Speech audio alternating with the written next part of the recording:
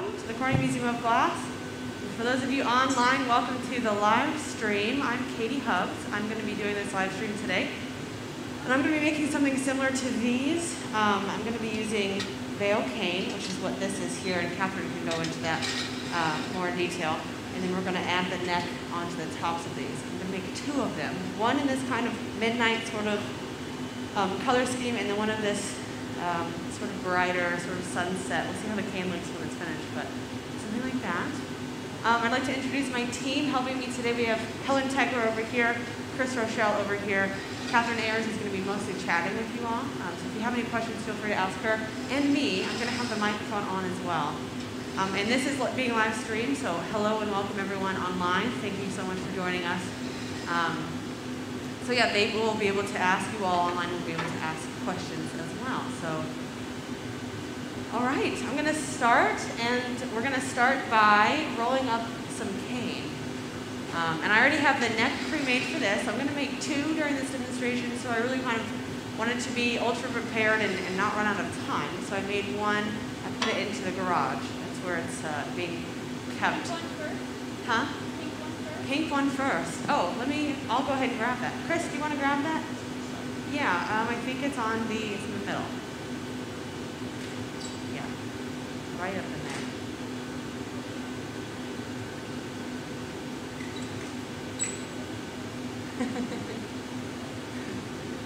and uh, Chris is going to run this over. This is in a kiln at 900 degrees, just to keep it a little bit warmer. The canes I pulled are a little thicker um, than I guess some traditional style canes. Uh, that's because I'll make a little bit of a larger piece with it, and the color, for especially for veil cane, can kind of bleed out sometimes. And so I wanted to make them a little bit thicker. Um, hang out for a second. Helen, will you come back? That's the white one on the end? Um, okay.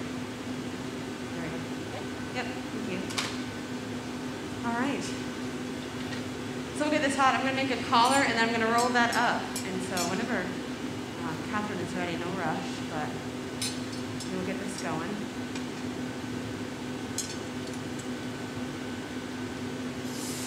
All right. How about a big round of applause for Katie? We'll pump her up for the big live stream.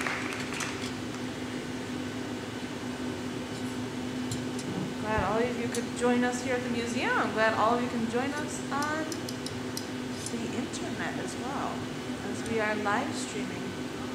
Check that out. Katie's mom is watching. She watches every uh, every Wednesday. Can we get a This round of one? applause for my mom?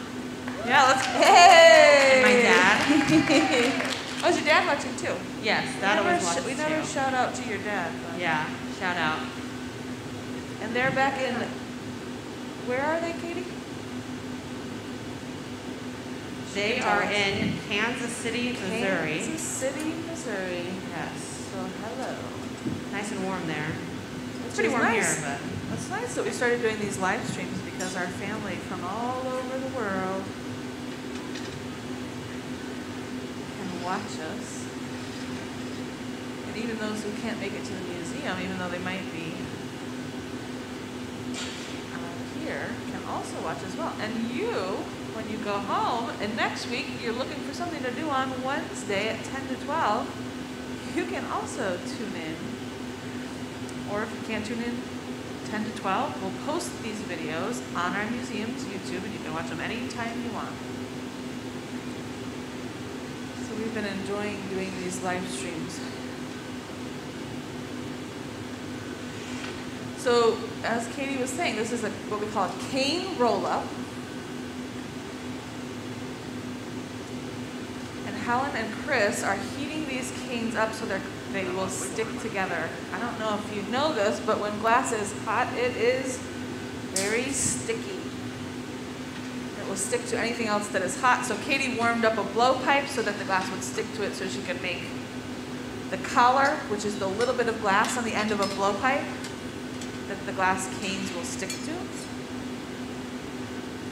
Chris and Helen are getting those canes to um, push together so that they stick together and then she can roll them up.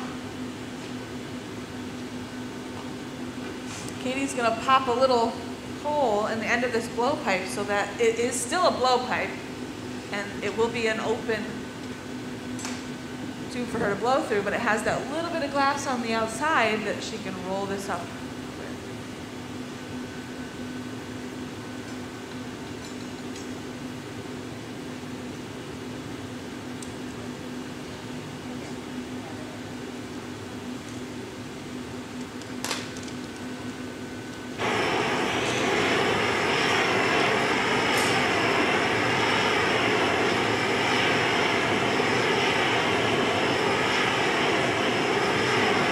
When we talk about a cane roll up, you can imagine once they get those canes fused together in a sheet, she's going to roll them up. And that will become the outside of our bubble. And so that's why we call it a cane roll up.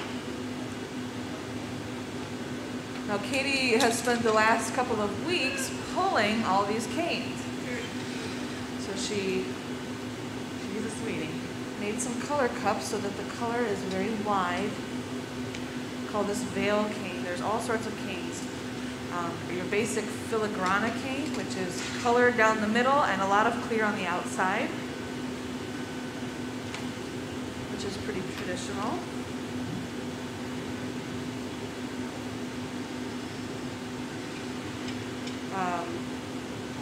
We've got zanfirico cane, which if you take, you know, a, a several of those filigrana cane and pick them up on the inside of some clear glass, and then as you pull it, you twist it. It creates like a double helix kind of pattern. You pick them up the lines on the outside and twist it, so it's kind of like the veil cane, and then you, or you can pick the color up on the outside of the cane, like Katie has, and create these wider. Once they flatten out, it's going to create these wider strips of color. So they keep flipping this um, plate around.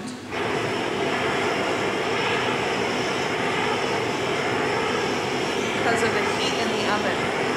First thing in the oven is the last thing out. It's always going to be the hottest part of the piece. So they are heating both sides of this nice and even so that when she rolls it up, one side is not hotter than the other. And um, Katie used a pie divider. If you're familiar with the mathematical uh, concept of pi,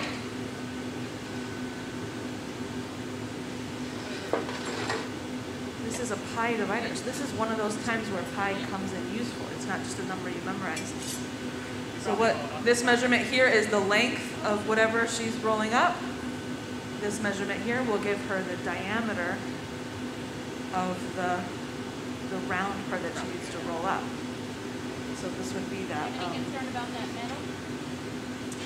the length divided by the 3.14 gives her this um, dimension. I'm just going to put this in the video so you can see, for those of you at home, this is our pi divider. I don't know if you can see the other end. So we measured the length, and then this measurement here will give her the diameter of the, the um, collar she needs. So it's a pretty fun tool and a practical application for pi.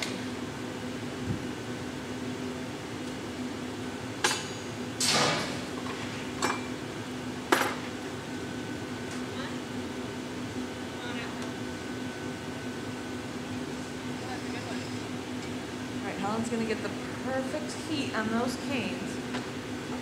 Katie's gonna stick the collar and start to, s- roll this up. Look at that. Isn't that cool? She'll brush off any dust. There's a little bit of kiln wash on that plate so that the, gla- uh, glass canes don't stick to Demo it if you want. Yeah, them. do that. And so she just used a, a, a whisk broom to uh, dust it off. Will you put it around the front?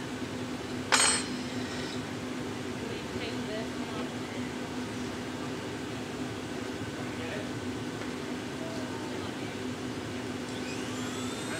So she's going to use this Dremel tool. you want an extension? Got a yoke? Bring a yoke over?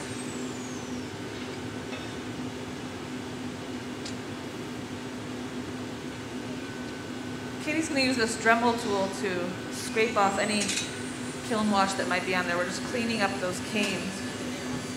You got little metal stuff. Little metal from the, there was these little metal things holding the canes from rolling off the plate. And sometimes little flakes of metal stick to the glass as well. So she's just kind of scraping that off before she rolls this right up. It is on the edge that she's going to stick them together, so before she sticks them together, she does have to clean that metal off. When she goes back into the heat, the flame will fire polish that sanded edge. And so you'll never even know that this happens, but it is something we need to take care of now. So here we go. She's going to start to pull the two edges together.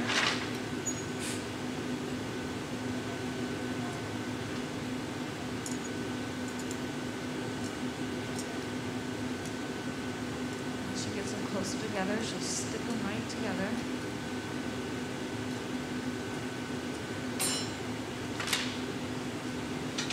Glass cools very quickly, so she does have a very limited amount of time to get this to stick. So you're going to see her going back and forth from the vent to that reheating oven quite often throughout the process.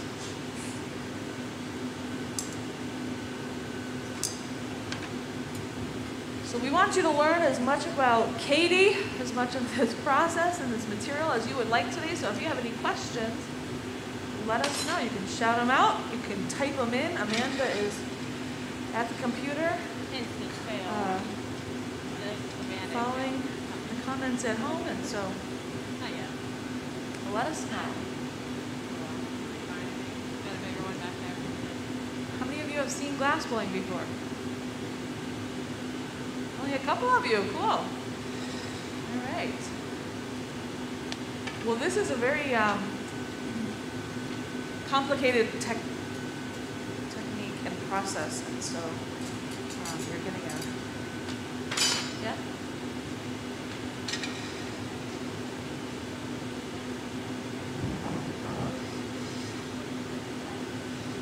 Oh yeah, so she was shielding Katie's um, hand from the heat. So she was using this um, wooden board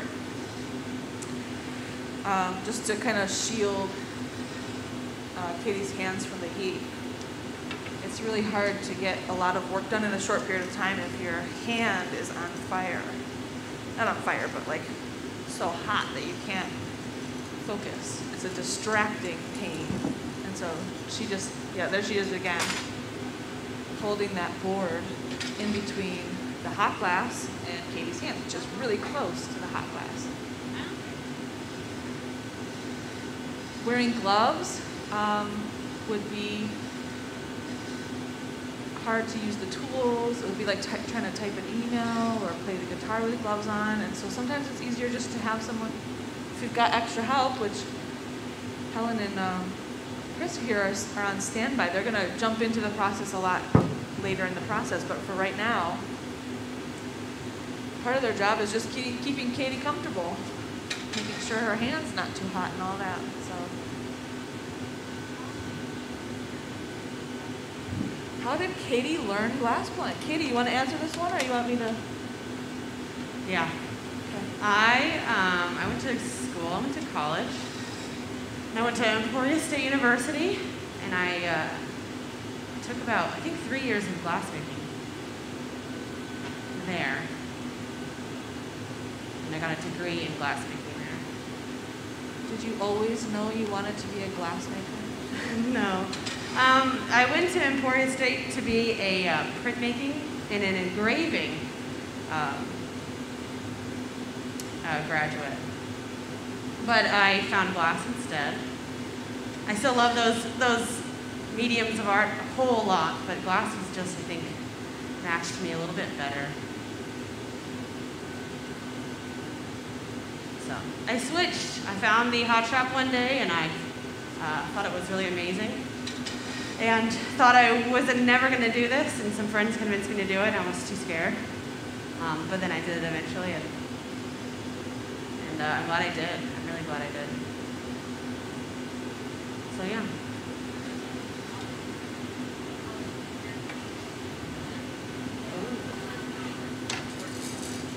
Yeah. Go ahead, Helen. So Katie, you, you made a pink a pink bottle and a blue bottle. And do you notice a difference between using the pink color and the blue color? Is one softer than the other? It helps a lot, really. Huh? You made a pink bottle and a blue bottle. Did you notice any difference between the two colors? Is one softer than the other? Yeah, I kind of liked this color, but I also wanted to make one with a different color blues. Um, I was thinking about my mother, of course, when I did that. She's gonna love that one. Yeah. Um, but yeah, um, I just kind of wanted two different contrasts. Since I wanted to make two pieces, these kind of go pretty quick. So instead, sorry, Helen, just wanted to make two, and then of course, a little bit more contrast is nice. Yeah, so all the um,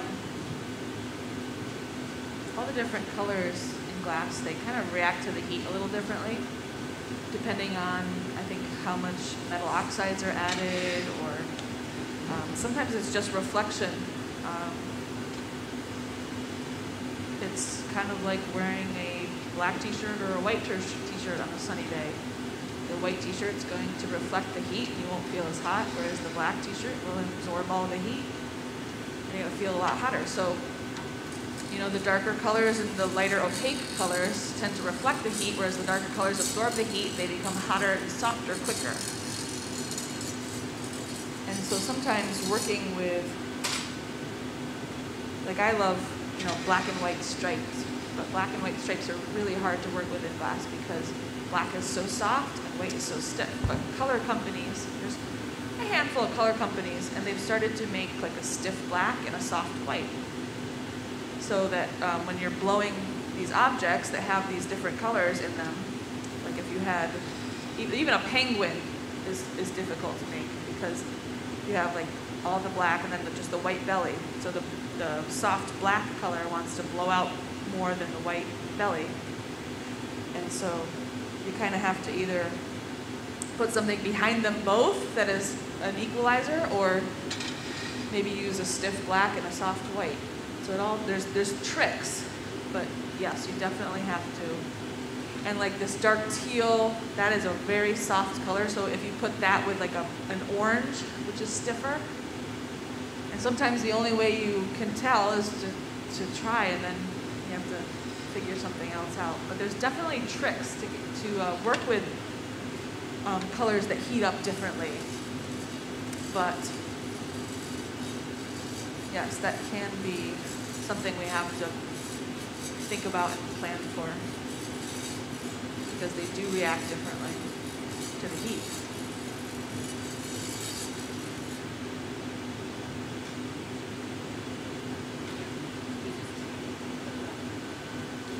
The color companies have um, started making something called Duro. So with these canes, you're pulling, you know, glass. Sometimes you stretch the color really thin, and it can kind of fade away. Once, so you pull the cane, you stretch it thin, and then you pick it up, do a roll up, and then you stretch it thinner. And sometimes your lines will disappear. And they've started making a color called Duro, and it's a really strong, bold um, form of color, and so it's really nice to use for the canes because once you stretch it real thin and then blow it out, it still holds that really strong um, line design. And so, if you wanted to make that filigrana or like a reticello, something with complicated lines, you would want to use that Duro color instead of just the basic color. That way you could keep your crisp lines and they wouldn't kind of bleed out.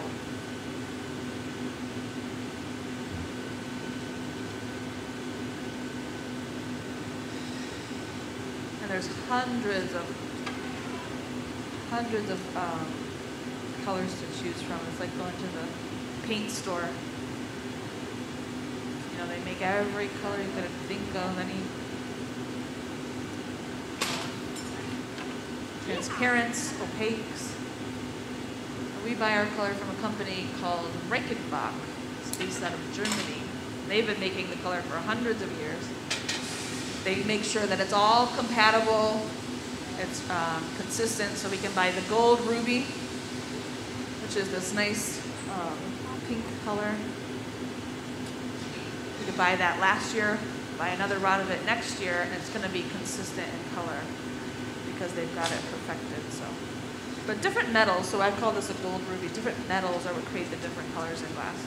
Gold makes a ruby red. Iron makes green. Manganese makes purple. Cobalt makes a dark blue.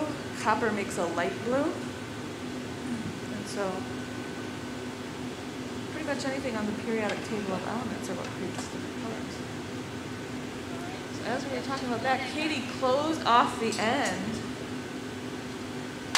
of the bubble. So now she's got it on that blowpipe, it's closed off, now she can blow and inflate. She can make a vessel or anything from this now.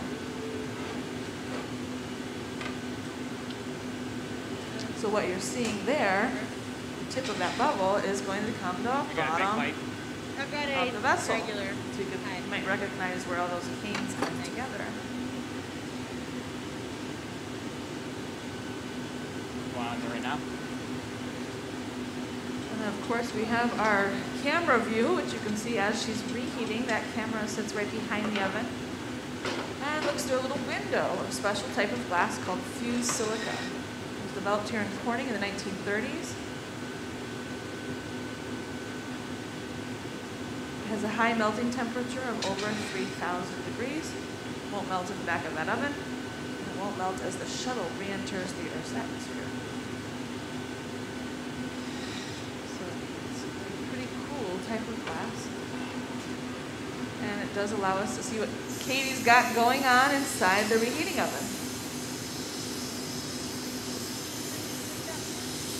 We're using a brand new newspaper. That's why it's so smoky. There.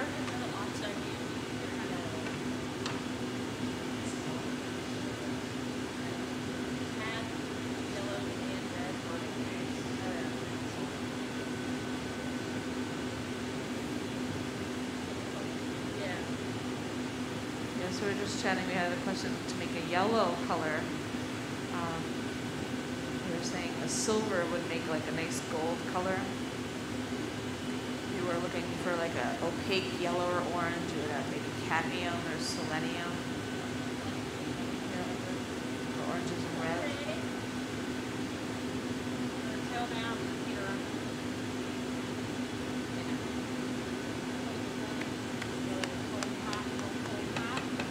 I, ta- I think I talk for those of you who watch our live stream consistently. This will be a bit repetitive, but for those of you who have never heard it, it's kind of interesting. Um,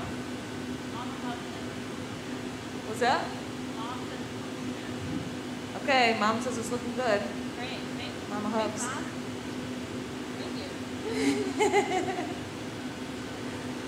you. um, is anyone familiar with Vaseline glass? It was, a, it was sort of like a limey green, kind of like that one down there on the end, maybe a, a little bit brighter. And it's found in a lot of antique stores. They used to make it, and to make that uh, bright green color, they used to use uranium.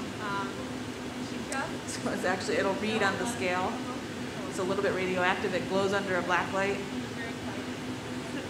They don't make it anymore. They have they found a way to make the same color without using uranium. But um, yeah, they used to use arsenic and lots of different things to make colors, but there's a lot more regulations nowadays. And they found different ways to make that beautiful bright green without creating radioactive glass. But if you go into an antique shop and you see something like that, they'll usually, um, they probably usually have a black light there to, to show you that it is um, that glass. Yeah. These these boxes on the side are slow cooling ovens, and so we can only make um, enough pieces that we can cool slowly overnight. And so you might be wondering, well, like, I doubt you could make that many pieces. Got all these ovens. Like, why do you need all these ovens?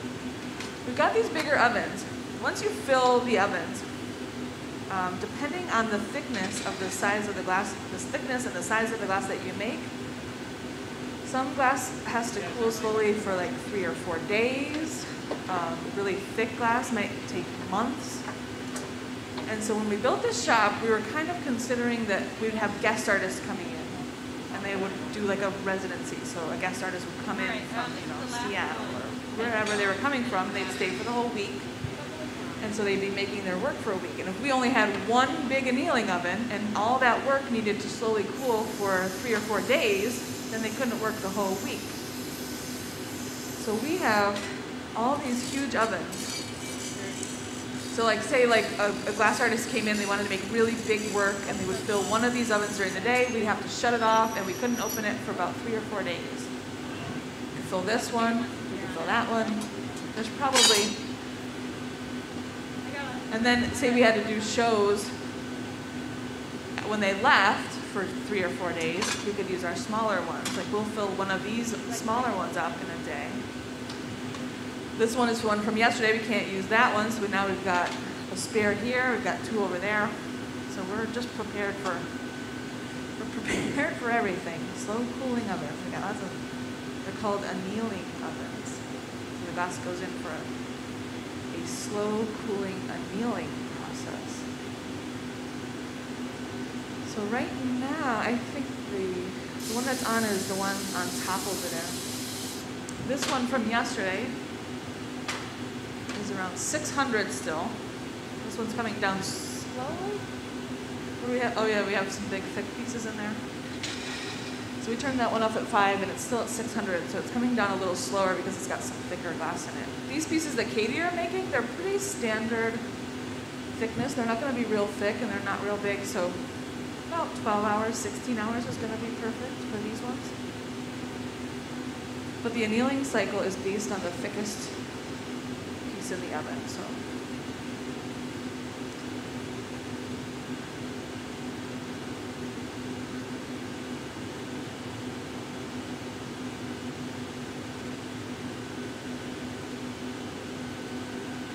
It said, I'm 53 and I want to keep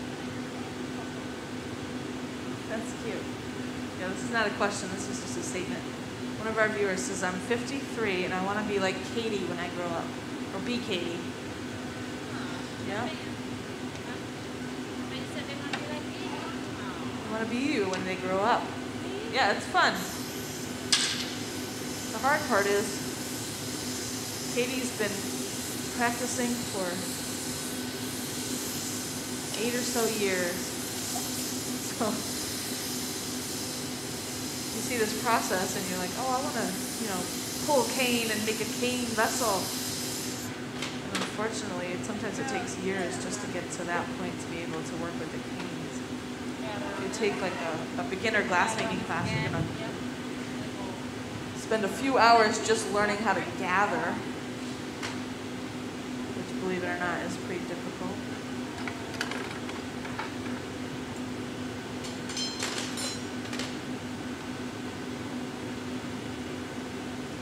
Then you gotta learn how to s- use some of the tools, so they, they usually start you off with like a paperweight, so you can learn how to use the blocks, the jacks, the tweezers, the shears. Why not? And then maybe the next step would be making a tumbler or a cup, so then you gotta learn how to start a bubble. Starting a bubble in the glass is pretty difficult. Bubbles should go in nice and even, and so it's one of the more difficult parts of this process. Once you have your fundamentals, then you can start trying to make something from that, and that is um, something that takes years. If you were to take a traditional apprenticeship, like the, the apprenticeship here in the old Steuben factory, this is the old Steuben factory, and they closed. They still make a limited production, but it's um, on a much smaller scale. But when they were open, they had an apprenticeship program, which was six years or about 12,000 hours, so quite a while to learn. It's like an instrument or a sport. You can't learn it overnight, you can't learn it in a weekend. Drink water. But you can get a good start.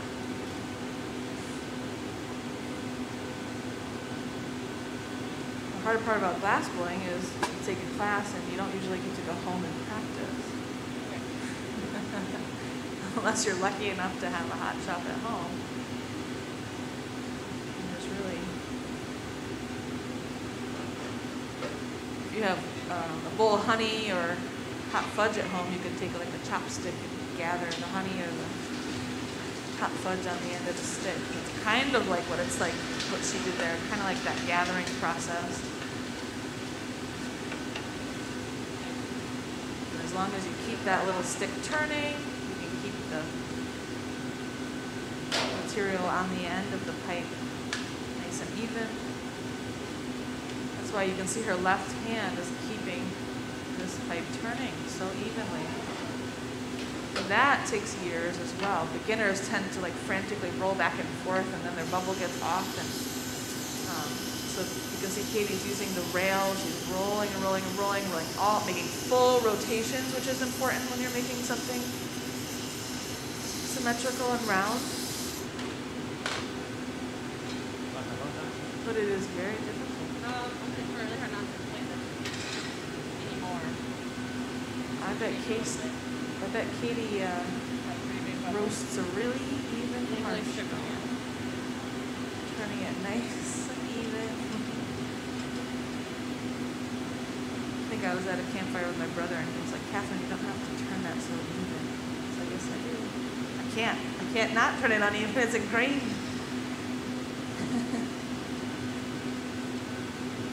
he was kind of flipping his. It's like, it is, glass blowing is like roasting marshmallow. If you roast one side, it starts to kind of sag and fall off and get too hot on one side. So she's she's turning the whole time, even when she's in the oven, she's turning and turning and making sure that heat is getting all the way around, making sure that the glass doesn't fall off center. What she's doing here with this newspaper, she's not only shaping it, but it's cooling it. If she shapes and cools one side, it's going to get hot on the other side and blow out uneven. So to get this to blow out and to keep the walls uniform thickness, she's got to make sure she touches that glass evenly on all sides. Now because we're using this brand new newspaper, Helen is holding this um, compressed air to blow the smoke away so it's not going right in Katie's face. It is the one tool that we have to replace often. Here's the old one, the one she was using yesterday. You can see the Take a little paper burn paper off does not burn through. We don't replace it often because the paper burns through. We replace it often because it becomes soggy. It starts to fall apart. So this one is a little thin, a little flimsy. I just made a, a new one yesterday. But once it builds up that carbon layer, it doesn't smoke as much.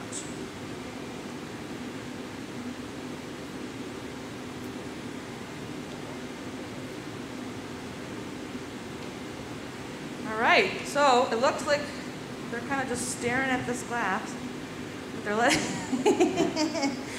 they're letting it cool off.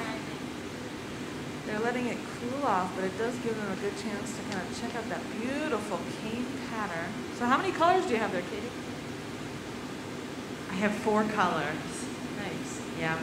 I have a, um, I call it mauve, but it's uh, aubergine. And I really like it. It's plum, but it turns out it's a little brownish. So I'm trying really hard not to blow this out too much to uh, lessen that color intensity. That's what's the brown color in the, the pink vessel over there. It happens, you know. Um, just gotta be careful. But yeah, and then we've got uh, flamingo, another really great color, noble pink, and then vanilla. Is there four in this one or just three? There's four in that one, yeah, the flamingo and the, you know, opal look very similar. Oh yeah. There's a difference there. Slight, slight, slight difference. Blue has four as well. One being iris night blue, which is one of my favorite colors. Why not put your favorite color in? Is that gonna be big enough glass for you? Yeah, I think that's gonna be very good. So when did you start making these pieces? Um, I actually started this last year. Um, I wanted to make a piece for a gallery opening in Emporia, Kansas, where I went to school, and I made a piece. And it made it, believe it or not. And uh, I made another piece too, just like it. Um, and then uh, those were pretty cool. But I've been working with Vale Cane for about four years, four or five years. Open.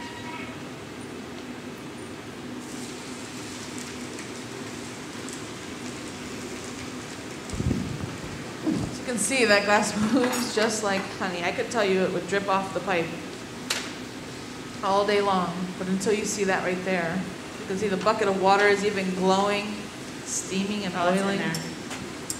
Sorry. She's gonna remove maybe a little bit of something that was in there. Just kind of pulled it out, keep the glass nice and clean. And then she's using a wooden scoop tool called a block. These blocks are carved out of a block of cherry wood. You can use fruit, any fruit woods, cherry wood, apple wood, pear wood. I guess it would just depend on what was um, available to the tool maker, which tool, which wood they would use. I think the Italians use a lot of pear wood. We, our tools tend to be cherry wood. But we're looking for that dense grain pattern so that the wood burns away nice and even. We don't want an irregular grain pattern because it would catch in the glass.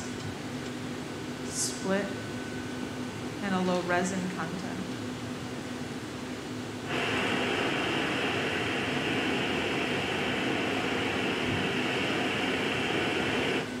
Helen's just heating up the jacks and putting a little bit of beeswax on them. As metal heats up, it wants to stick to the glass, and so if those um, blades don't have a little bit of lubrication on them, they tend to want to kind of create a resistance in the glass. And what you would, um, she would feel the resistance, but we would hear like a screeching sound, kind of like nails on a chalkboard. But mostly it would be for so she didn't have this resistance on the glass. It would be hard for her to turn.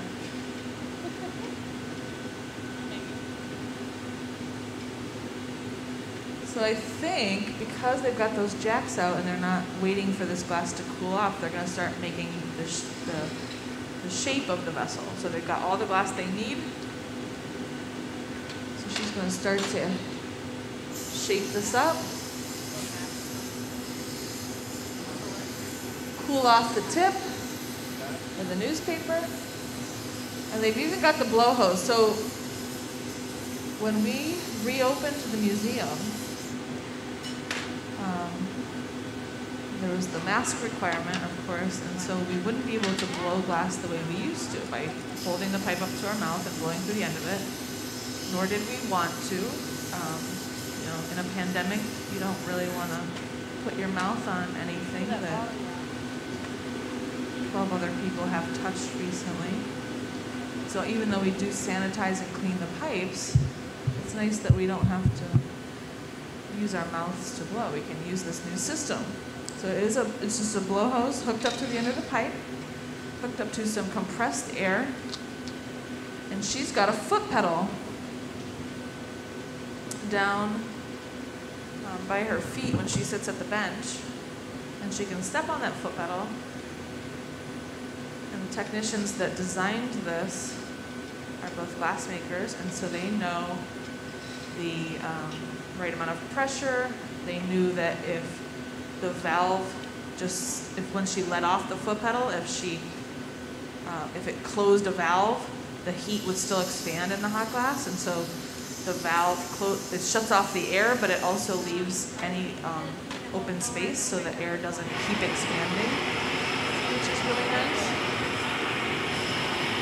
So they made this system so that it would function just like if you were blowing at the end of the pipe. So if you blow through the end of the pipe, you take your mouth off the pipe, the pipe is open. There's no valve in there that holds any air in. So he wanted to make sure, they wanted to make sure that, um, that when we stopped blowing, even though the hose is attached, the air can go in and out of the pipe and it doesn't keep inflating.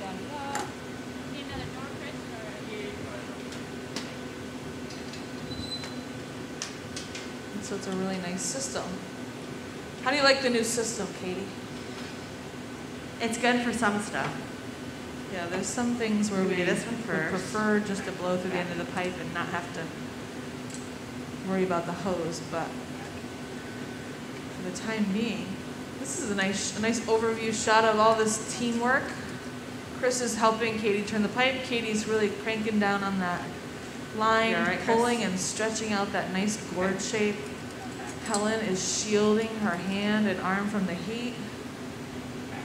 And so it's always nice to have a nice big team. Okay. It's a good start. Um, actually, yes, I agree.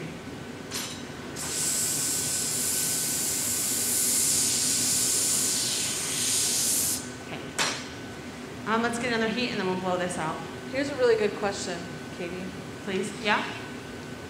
Someone wants to know what your favorite glass blowing story is. Oh. And you can think about this, and I know this is like, you're right now, you're kind of right in the middle of things, and things Uh-huh. are really starting to happen right now. So if you wanted to like put that on pause and answer later, that's totally fine. I have, uh, yeah, I'll think about that. I think there's going to be some time I can work on that one later. Yeah, great question. Thank you for asking. Glass blowers have lots of stories. And I'm going to turn for you, Chris. You know, once you, you add fire Back. and heat gooey material, and then all the different personalities on the team, sometimes glassmakers have really good stories. Okay, um, get this a little hotter, pump that up. Then get that line really far down.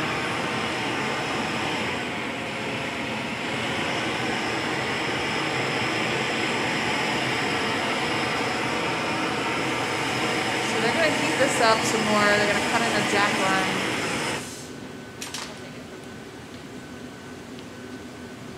I have a story about when I first started blowing glass um, and how important um, language is in the shop. so I was, you know, you're, you're first learning how to blow glass, and the heat is intimidating, and the glass is intimidating, and you gotta keep it turning. You got there's so much to think about. And um, before this whole automated system, if you were to, if you wanted to tool the glass and inflate it as you're shaping it, you could have someone sit at the end of the pipe and blow. And so then you would have to verbally say, blow, blow soft, blow harder, or stop blowing. Put it down your way. And so I was um, gaffing or sitting at the bench and I was in charge, like Katie is right now. You could kind of hear her telling Chris um, and Helen different things to kind of get what she, what she needs. And so I wanted um, my assistant to start blowing, and so I said, blow, blow, blow. Nothing was happening, so I said, keep blowing, blow, blow. And then all of a sudden, I don't know what happened if the bubble just came out or if it was too hot, and, or he started blowing really hard.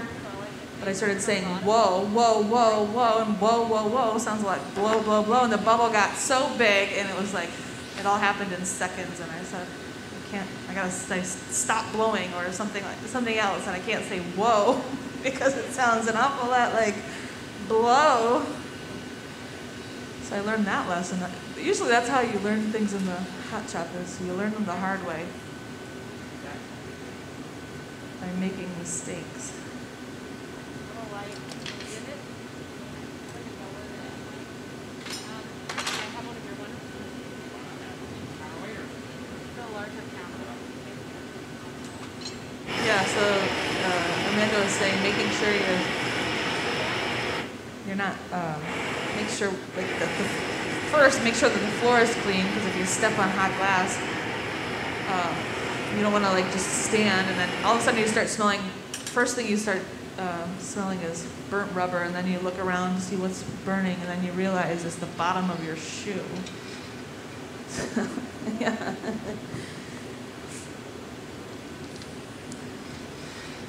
I worked in a hot shop that was in an old barn. I learned very quickly that you couldn't really cut scraps off. And if you did, you had to figure out where they went because the floor was made of wood. And yeah, that was not good. So if you cut something off and it didn't land in the tray, you'd have to make sure you found it real quick.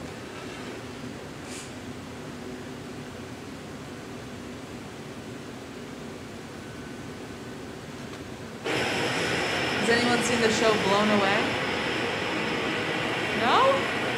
Oh, you guys have. Good. There's a, a glass blowing reality show on Netflix. So if you if you get hooked on glass blowing today, you'll really enjoy this. Um, it's a competition reality show about glass blowing. Get some uh, good ideas of all the different personalities there are in the glass world. And they're on their second season. Our team, we do demonstrations for the museum. Our team is, you know, pretty mellow.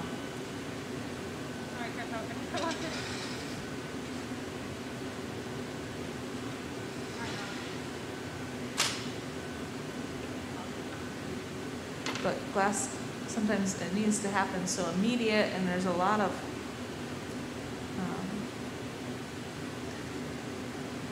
everything has to happen at the right time, the right temperature, and things can get pretty heated pretty quickly in a hot shop. In more way than one.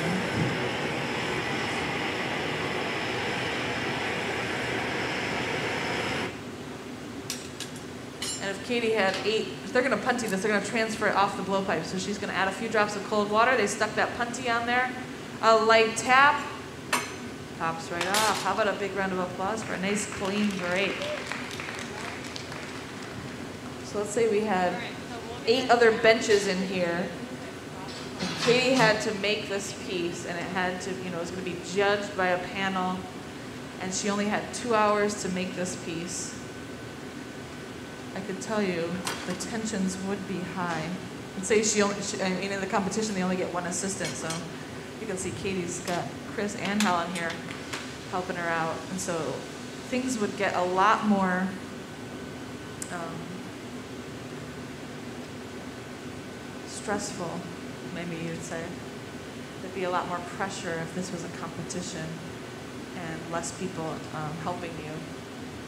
But she's got a lot of help. Everything's going to be really cool, calm, and relaxed for the most part, unless things start to go terribly wrong.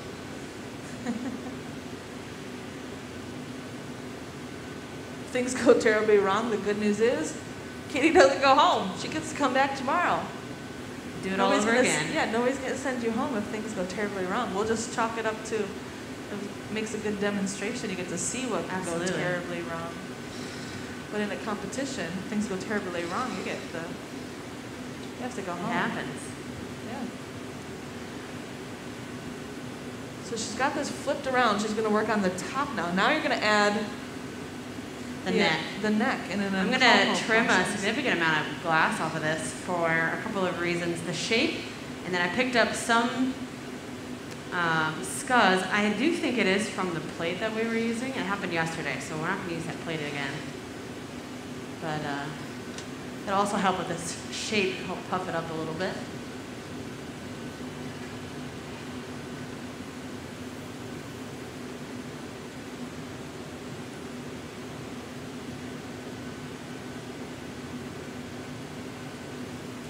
She's going to create another one of these constriction lines that will allow her to remove that inch off the top.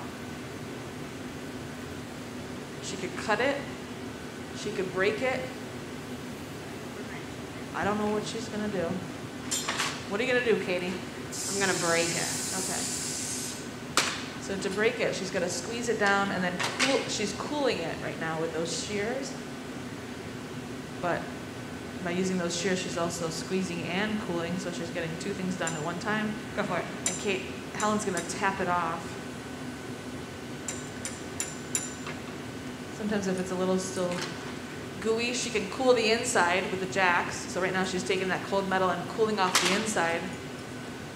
Cools it again on the outside, a light tap. Tap. We don't hit it harder. I don't know if you noticed that. We don't go get the persuader and try to force it off. We give it a quick heat. Let everything else heat back up. And Helen will tap on it lightly again until it just pops right off. And it will. It's just a little warm still. She'll cool it off. She'll use a different set of shears because those ones are warm now. Okay. So maybe the cooler shears. No, it doesn't want to come off, does it? Don't worry, it will. Cooling it, cooling it some more. Another quick flash. Katie, if you weren't live streaming, this would pop right off. Yes. It would.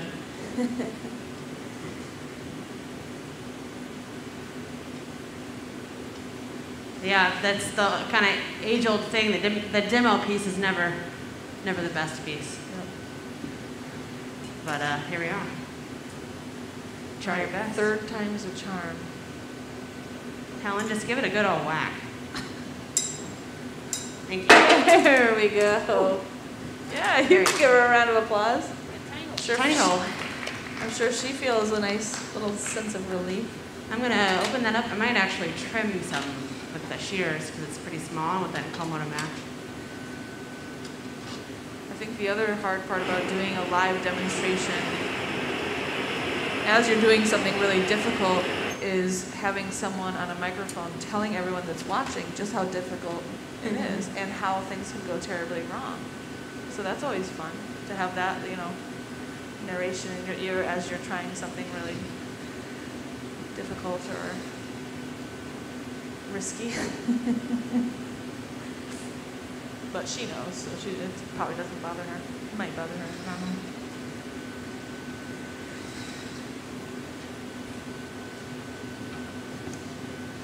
Um, everything's going to look pretty smooth here today and go really well.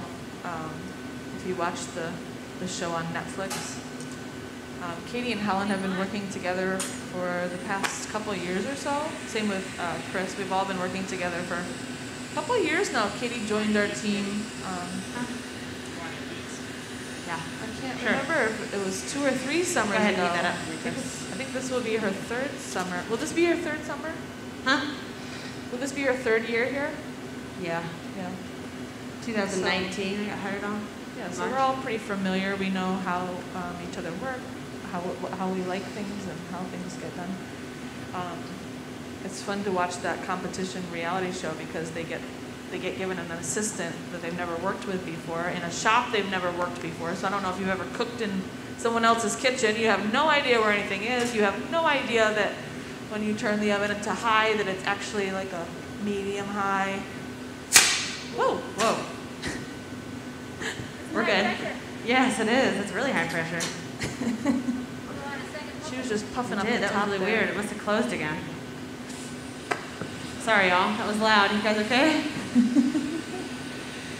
She's puffing up the top, so she got it nice and hot and used that little bit of that compressed air. That was hot. It's fine now. Okay. Just gonna flatten that out here. I'll take this. But you'll see a lot more breaking. Um, like I said, Katie's been working in this shop for about three years. She's been working with the team for about three years. Everything's to go pretty smooth. You're thrown into a new shop with a new assistant, a lot of things can Chris, we're ready for that. So it is fun to get a, a different perspective if you watch that show. But I think people are very confused when they watch the show and then they come here and they said, how come no one's screaming, running, and there's no glass breaking? But like I said, different shop, different competition levels, stress levels are high and all that. So we like to do a demonstration, um, nice relaxed demonstration, but not a lot of pressure. You feeling the pressure? No, No. no. That like you know beginning of demonstration. It's a little nerve wracking, but Now you're just going with the flow? yeah. Now you're just going wax. Yeah. So we're gonna combo this on. So I'm gonna start to heat this up, and Chris is gonna heat the neck of this up, and we're going to put the two together. So she's gonna do a, a process called encalmo, Stay here. Actually, take a quick heat. where she's gonna join two bubbles together. So what this allows her to do is keep pattern on one half and a solid color on the neck. So the only way to get that solid color on the neck with a really crisp line and the the line um, cane pattern on the bottom half of the piece is to join two bubbles together. So she made a neck earlier, which is a tube of glass and it's a nice salmon pink. This is an example of an encalmo pieces. We call this a, an encalmo platter. This was made by one of our glassmakers, G. Bryan. You can find that live stream on our museum's YouTube channel, how he made this marble. Carl Siglid made this one, so you can see half the bubble is purple, half the bubble is marbled. So they both did an encalmo technique, but they did it a little differently. And Katie's actually doing the same thing without the marble, but showing another way to use this encalmo technique. But it allows you to get the, the pattern color and then the solid color in one piece with a crisp line.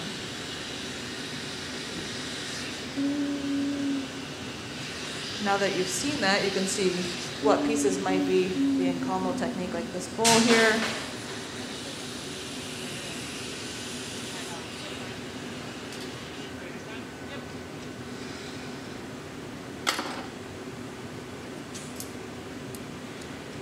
All right, yesterday she was nailing these connections. You're sticking them right on center. See how she does today. So Chris got the edge of that nice and hot. She's going to stick it right on there. And as she turns, we'll see she got it right on center. Nailed it again. How about a big round of applause? Yep. I was a little worried there at first. I was kind of going, you know, I saw a little, a lot of this happening, but she, it kind of goes like, uh, Hesitation. Little hesitation. Yeah, we were talking about that earlier. Jeff was like, man, you nailed it. and then Helen was like, that was really good. Let's do it again. and here we are today. Um, trying not to think about how we were talking about nailing. I'm going to take, you know, yeah. It's an okay connection, but I think we're going to um, heat that up a little bit. Here, I'll take them. Thank you. Yeah. So you can see she's pretty close to being done. She's gonna just kind of open up the top of that, make sure the shape is how she wants it. Right now the hole's still pretty small. She'll open that up. She might trim the edge, make sure it's nice and straight. But we're really close to being almost finished with this beautiful vessel.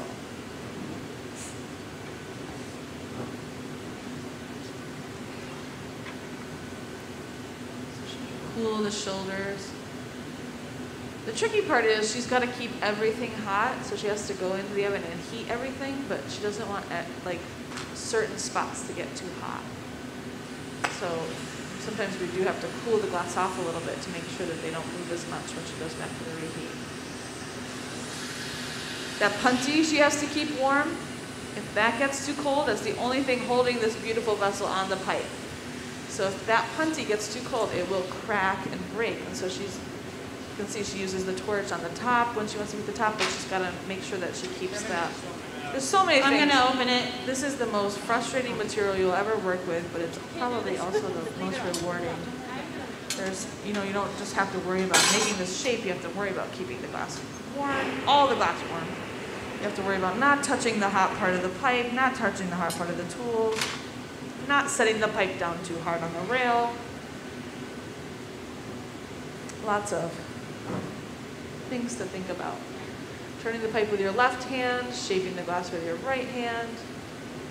And now we've added this new system where we step on the foot pedal to inflate the glass. And so, a lot to think about.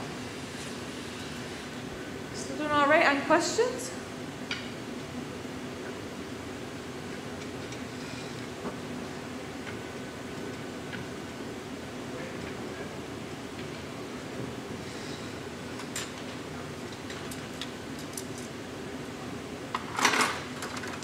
Um, So we touch the glass with any of the metal tools, it does pull a lot of heat from the glass, and um, I would say, I think the question was um, like how many degrees roughly. Um, I would say, I don't, I'm not really sure, but it does cool really quickly. Um,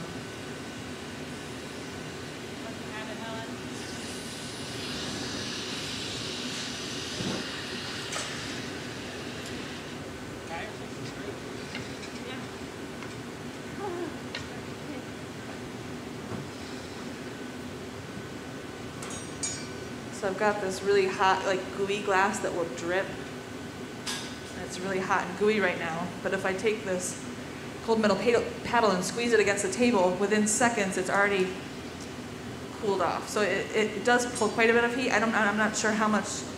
In this case, I would say at least 500 or 1,000 because it's already hard. All right, that's on until after. So it does cool it off quite a bit.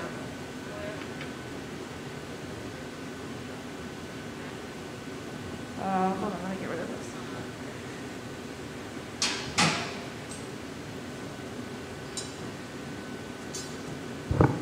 Say it again? Yep.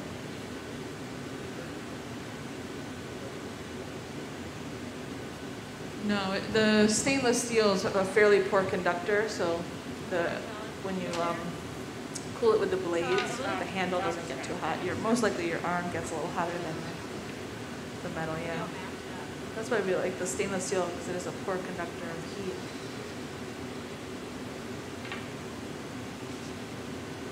But even if you just get near it with a cold tool, the glass can, it'll suck a lot of the heat. Check it out. So um, blowing on it will cool it off.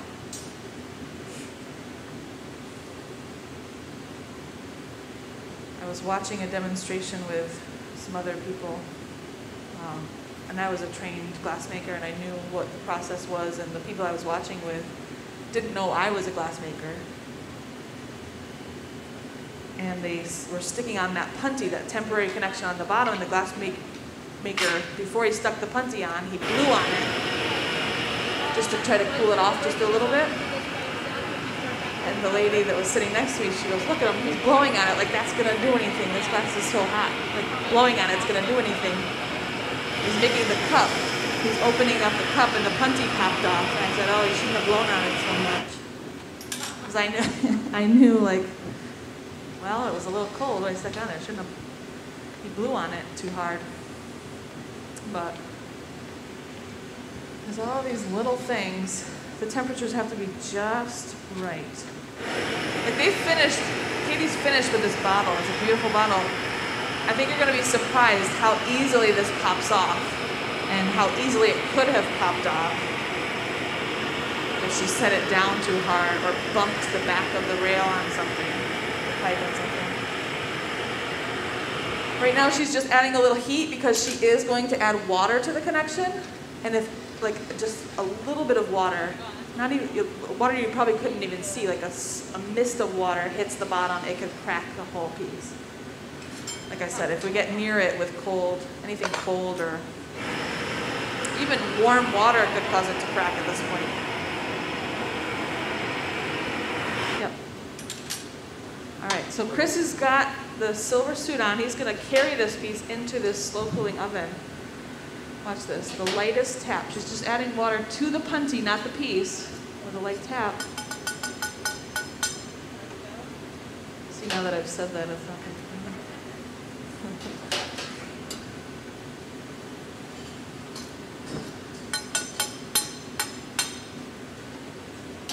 See the crack? Ooh. So something was just a little off.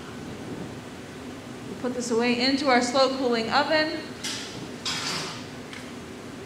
to cool slowly overnight. A beautiful piece. That's Katie Hubbs, everyone. Awesome. And now she's going to start right up on another one. Any questions?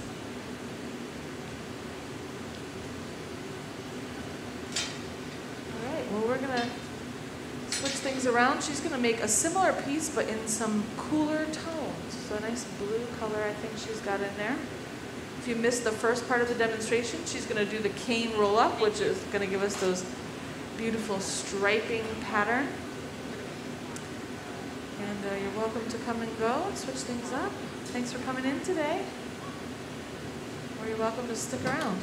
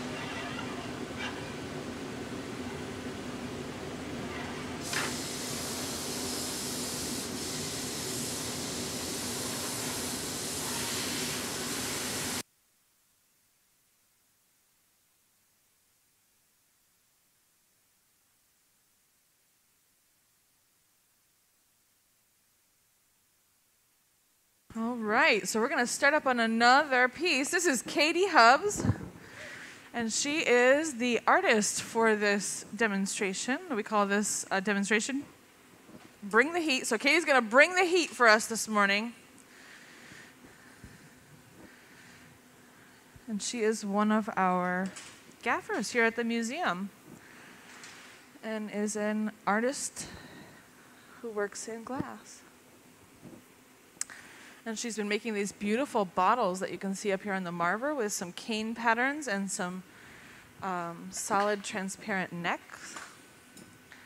And so she's she just finished a beautiful um, warm toned ruby or pink colored vase, and now she's going to do the cooler toned, which is a nice blue color. So there is some of the. Um, she just made one just like this, but with a salmon pink top, and then the next one's going to be this beautiful blue color. And so right now, are you making the neck? So right now she's making the neck. So she's got a little clear bubble, and then she's applying a little bit of a dark blue, maybe. I'm not really sure what color she's got there. Aquamarina. So she's got a beautiful aquamarine. Helen said 47. If you go to the catalog, you can find aquamarine, which is R47. A beautiful color. We're live streaming, so those of you who are here at the museum, you're watching live, but we also are live streaming on the YouTube and Facebook. So, um, welcome to those of you watching virtually as well. We live stream every Wednesday from 10 to 12, and we're going to continue that through the summer. Um, we alternate with Bring the Heat and You Design It, We Make It. And then this summer, we're going to do, be doing some programming that um, artists, some of our artists, are, our team are going to be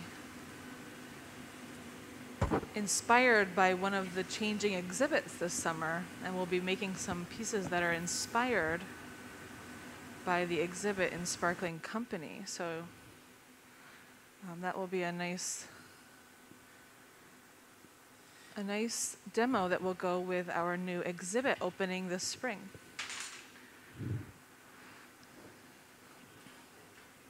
And then the You Design It, we make it every other Wednesday.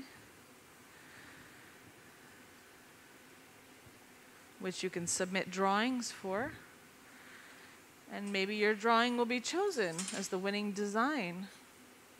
Last week, Helen made an alien, a blobby alien with four eyes and an earth on his head, covered by a dome.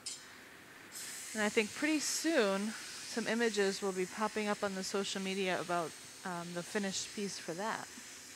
You know.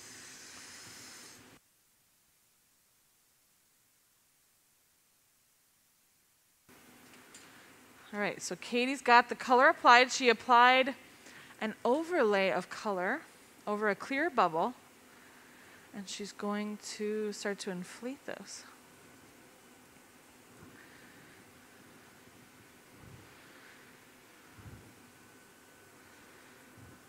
She's going to go in, get a little bit more material. That concentrated color is just a thin layer of color, and now she needs more of the clear material to go over top. So she just gathered that up. She dripped a little bit of it off. We call that a strip gather. And that clear glass that she drips off and cuts off, that all can be recycled right back into the furnace and used again because it's the clear glass that we have in our furnace. She'll shape this up with a wooden scoop tool called a block.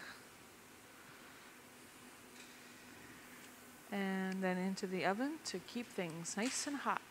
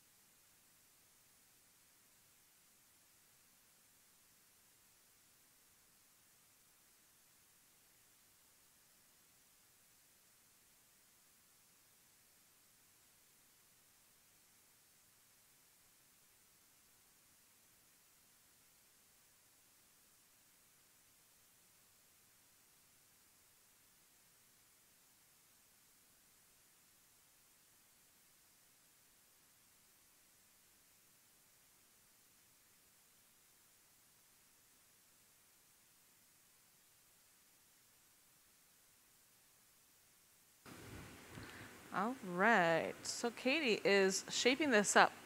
To make this tube out of glass, she's going to blow up a nice big bubble, and then she'll probably use heat and gravity to stretch out um, a long neck.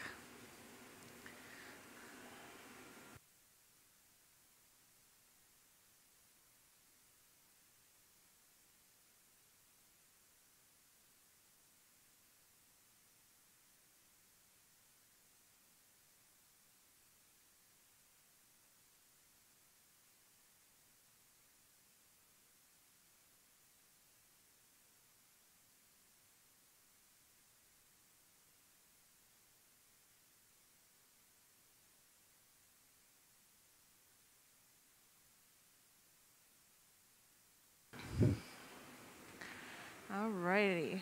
So this aquamarine looks very orange, and that's just because it is so hot.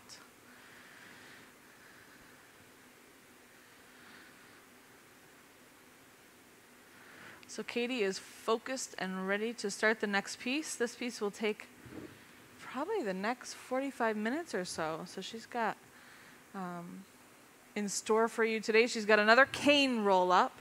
So for those of you who didn't get to see that, you'll get to see that again. She's going to pre-make this neck and put it away into the garage. First, she's going to open up the end of it because she is going to attach this to the top of this bottle. She wants to make sure that the, the neck is um, open on both ends. So she cools it, and then she'll tap off the end, which will leave a hole. There they go. When she goes into the oven, you'll see the small hole and she'll start to open this right up.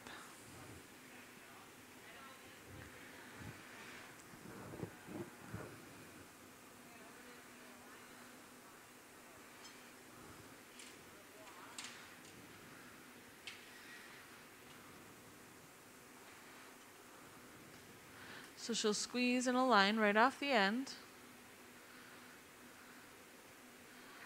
She'll open it up with the blades of the jacks. And when she cuts in this line, she doesn't squeeze it down all the way, so it will leave a small hole at the top when they break it free and attach it to the bottle. She's done blowing, so she removes the hose and then she'll probably open this up one more time and we'll put this into that garage, which will keep it nice and warm.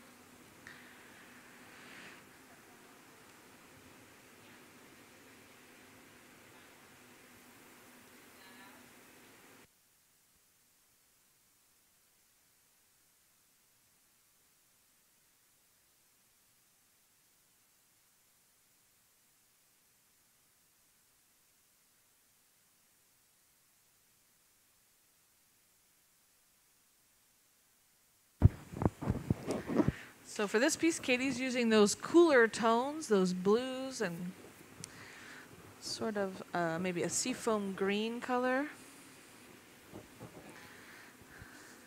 She's going to pull the canes out of the oven. We've got the canes preheating in the oven.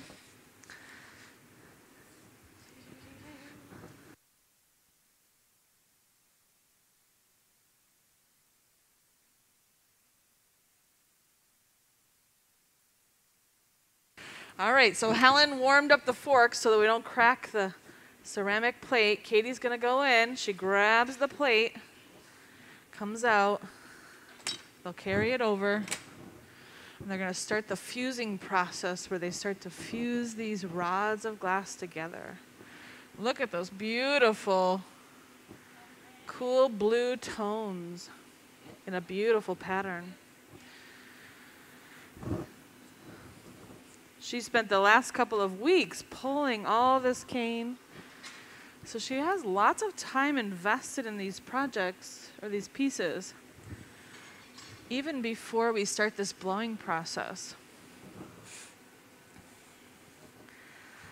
So each color of those canes, so she's got those four colors in the cane, each one of those takes a good 45 or half an hour to pull those canes. And so we're looking at a lot of work in these pieces.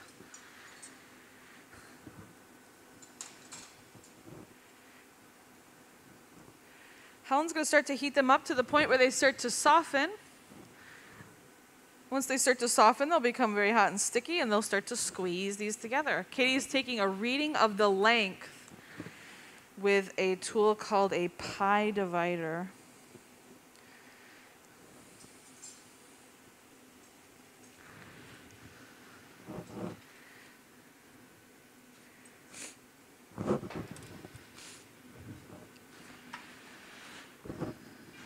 So she takes a measurement of the length and the opposite side of that pi divider will give us the diameter of our post that she'll roll this up on.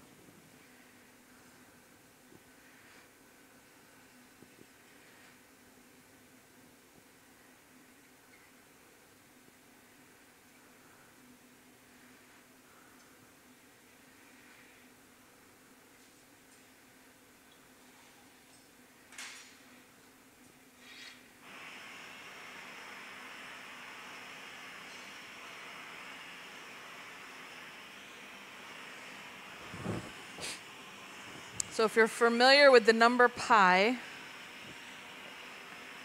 it's the ratio of a circle's circumference to its diameter. So they measured the circumference.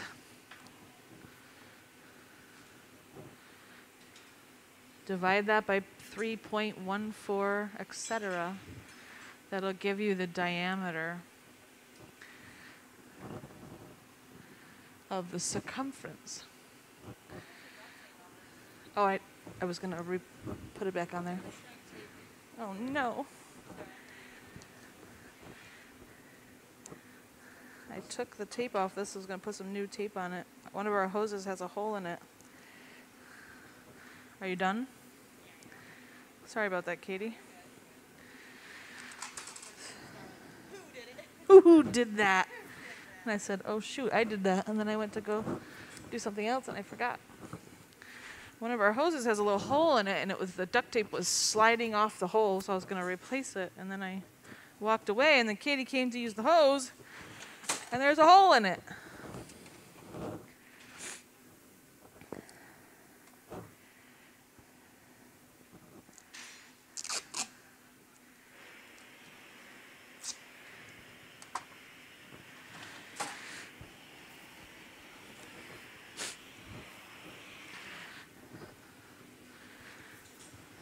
So she's got the length of the circumference, which gives her the diameter of her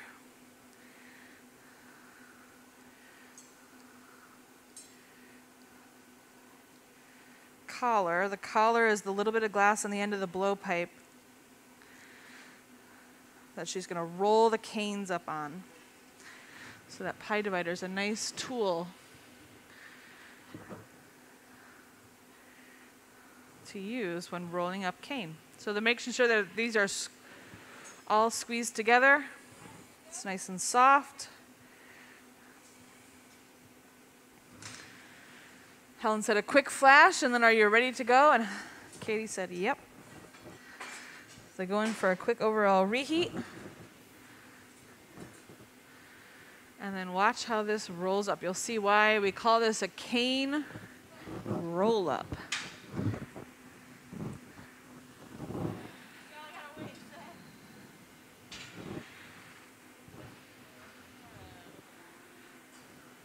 So they're to get one more heat on this, even it out.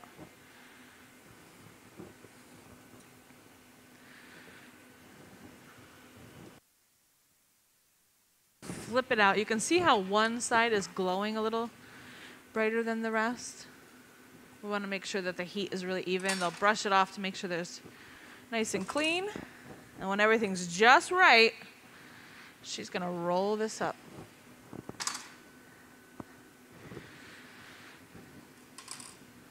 Okay, she's checked with the pi divider again, and we're ready to go. So we don't want it to be too hot. If it's too hot, it'll squish. We want it just to be just tacky and sticky. Watch this. This we call this a cane roll up. Here we go. Stick it on, she'll roll it right up, and look at that beautiful matches right up thanks to that pi divider and she'll brush off any kiln wash that might be stuck to the canes. And a quick heat. And now she's going to start to pull them together. These will become, these stripes will become the wall of our vessel.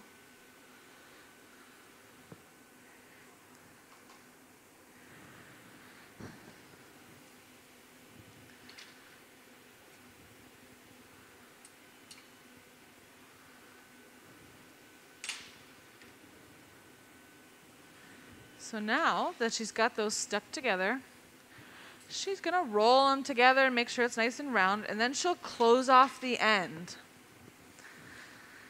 Bring all those canes together and close it off, and then this will become our bubble. Now, she spent a little time opening up that collar, so the blow hose, the blow pipe, she can blow through that and inflate this bubble once she closes this off. So she's just going to squeeze those canes together with the blades of the jacks. Right now, she's just kind of letting the glass glide in between those blades, just making sure everything's really sealed together. If there's a tiny little hole and she closes this off, we still won't be able to inflate it because the air will escape through that tiny little hole. So we want to make sure it's really squeezed together. That everything is sealed right up.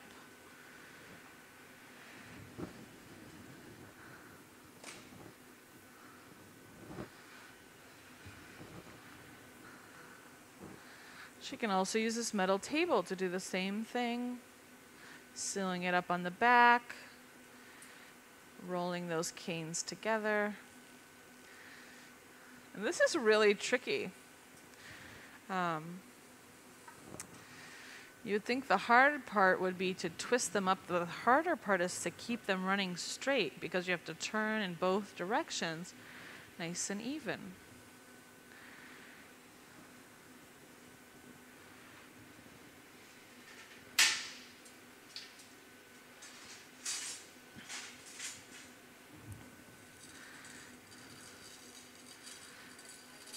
She'll use the blades of those jacks to kind of smooth everything out. And then eventually she's going to squeeze down the end to close it off.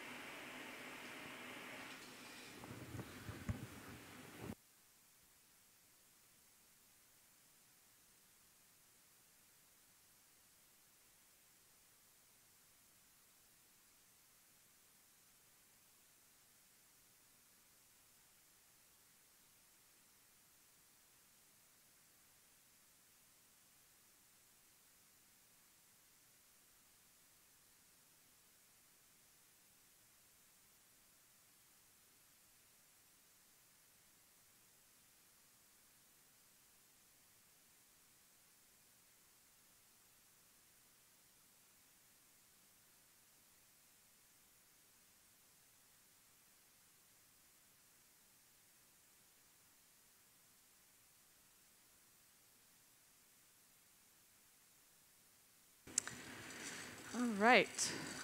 So they're just, this is the this process of squeezing these together and making sure that there's no gaps and it's all sealed together is pretty time consuming. So they're just going to keep doing this nice and slow. We don't want to do it too much. If she gets it too hot, it'll wiggle around. The, the stripes will start to shift. And so we want to make sure they stay nice and straight. So it's kind of like a slow and steady process.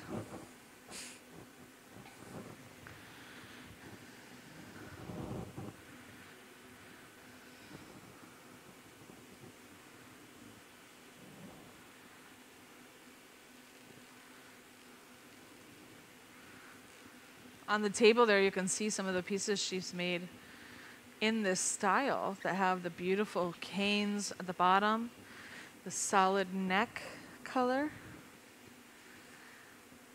And that's what the end or final project uh, product will be when she makes this beautiful Encalmo cane bottle.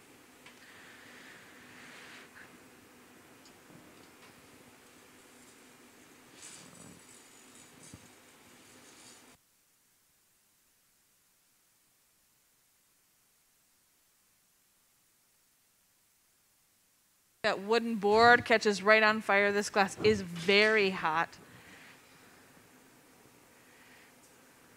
It doesn't quite look very hot, but once you start using those wooden tools, it is very, very hot.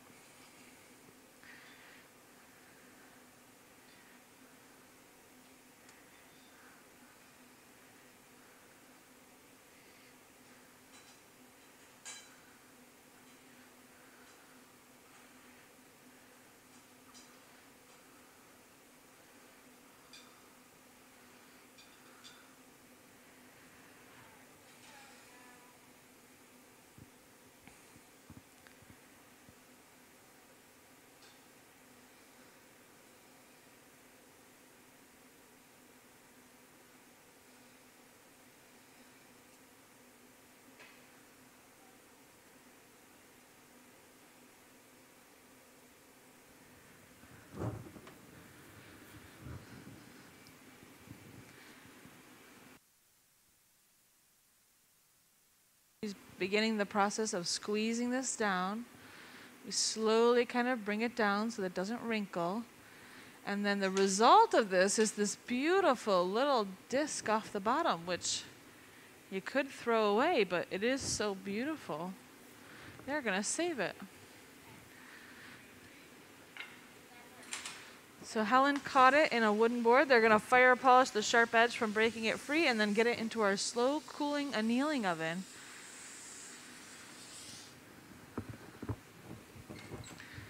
to cool slowly overnight.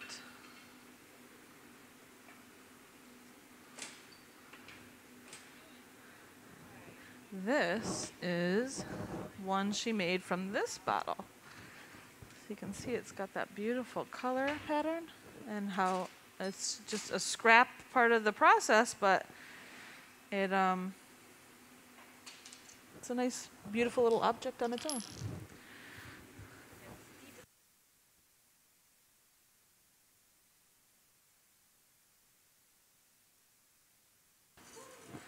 All right, so she's got that closed off. Now it is a sealed bubble. She's going to hook up that blow hose. This will allow her to inflate this bubble some more.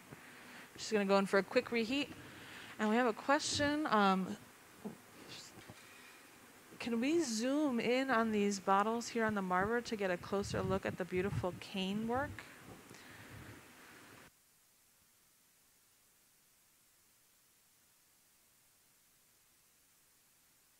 There we go, nice.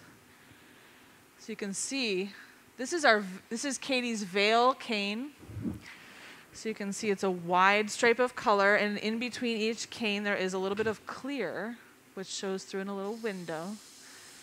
And so it's this beautiful um, wide stripe cane, which we call veil cane. So the way she made it is she made a cup of color, filled that with clear glass, pulled it so that when it flattens out, it creates this wide stripe instead of a small stripe in the center. Um, so another type of cane is called filigrana cane, where the color just runs in a thin line right down the center with clear, a lot of clear on either side.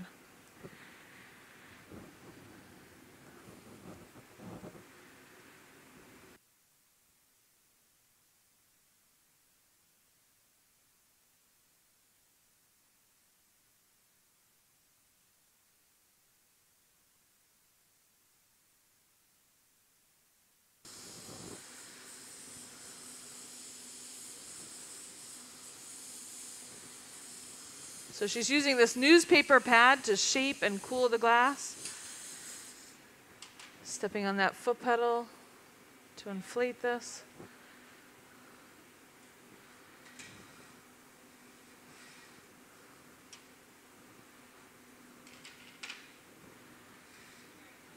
And that newspaper is fresh. So it does smoke a lot. Helen was just blowing some of that smoke out of uh, Katie's face. So this is Katie Hubbs. She's been um, working with glass for about uh, eight years now. So she makes this whole process look very easy. She went to Emporia State. She has a Bachelor of Fine Arts, concentrated in glass.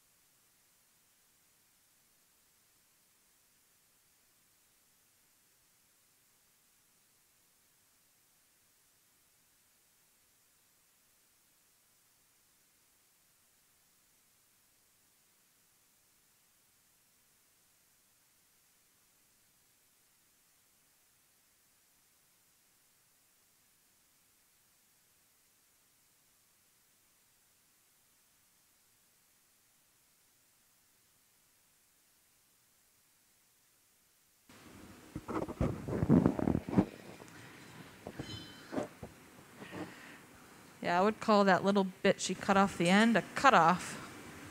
A pretty cutoff.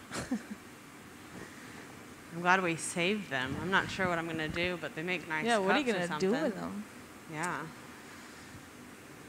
Put it on the bottom of a cup. Wow. There you go. Yeah. Make good bottoms to something. There's a glass artist, Janusz Pozniak, and he was on the show Blown Away, and he makes a lot of these cane pieces, and so he has a lot of these cutoffs, and I think um, he used some of them for a GoFundMe fundraiser as part of a um, a gift to people who donated, or you know, some people make magnets out of them. Some people roll them up and use them as pattern work on another piece but it is just pure color and it's a really cool little um, piece of glass. And so it's nice to use them again. Katie, your mom wants them. of course. Boy, we'll see, won't we? You could use them in a mosaic. You could stick them in your plants. What else could you do with them? They're just really pretty objects. It's all good.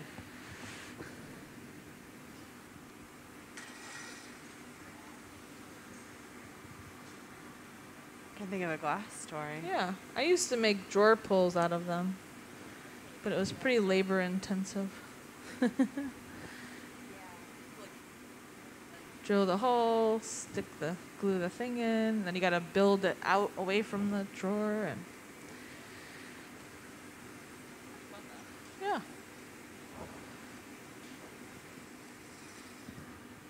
Okay. We're going to gather over this really soon. So we keep this under two hours.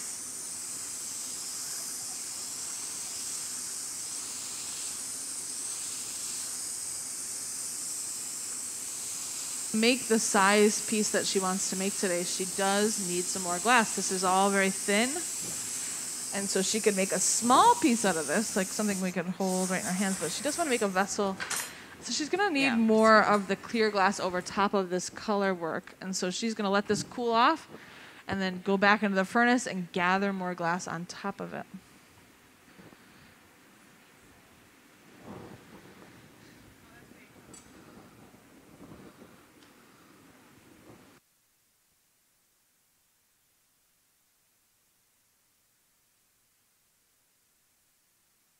You can gather on a bubble as many times as you like, as long as you can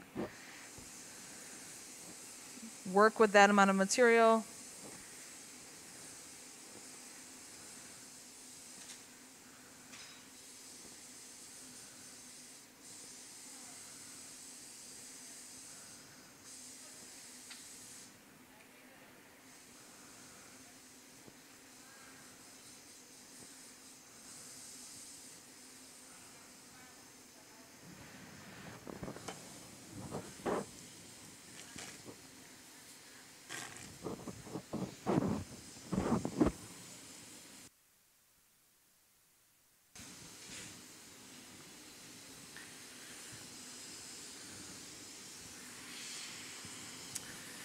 Cooling it off.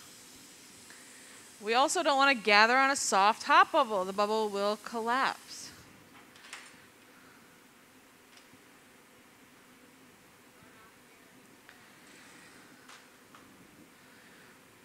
She's going in for a free reheat. We also can't gather on a cold bubble. It'll blow up in the hot glass. So she's kind of evening out the temperatures, making sure that the outside is not too cold from cooling it off, making sure the inside is not too hot, that the bubble would collapse. The temperatures have to be just right.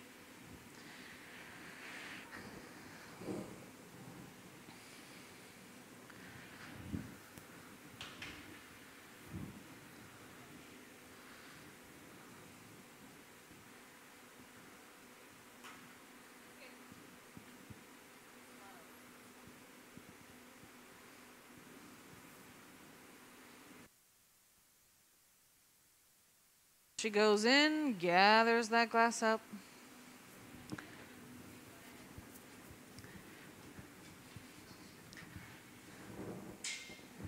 They'll use a wooden, she'll use a wooden scoop tool called a block that's soaked in water to shape, center, and cool the glass.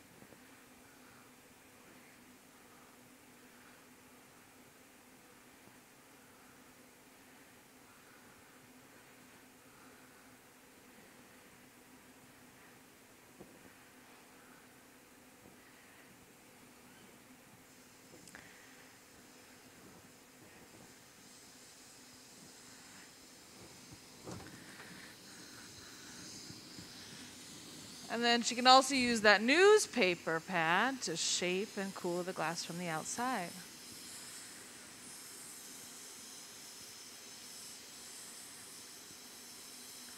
Chris is helping her turn. Helen's being a great assistant by shielding her arm and blowing the smoke out of her face, which is really nice when we have this fresh newspaper pad.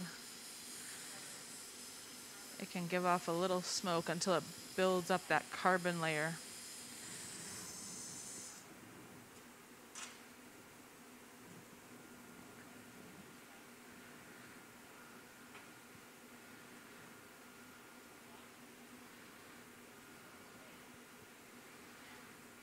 She'll cool the tip of the bubble on this cold metal table called a marver.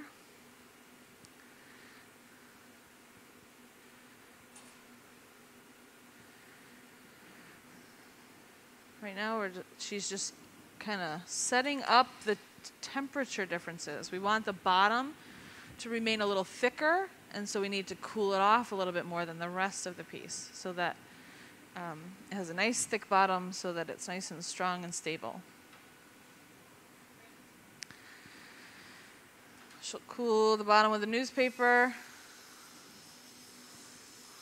Some more as well. And then she's going to start to step on that foot pedal, which is going to introduce a very light pressure or a little bit of air into that bubble.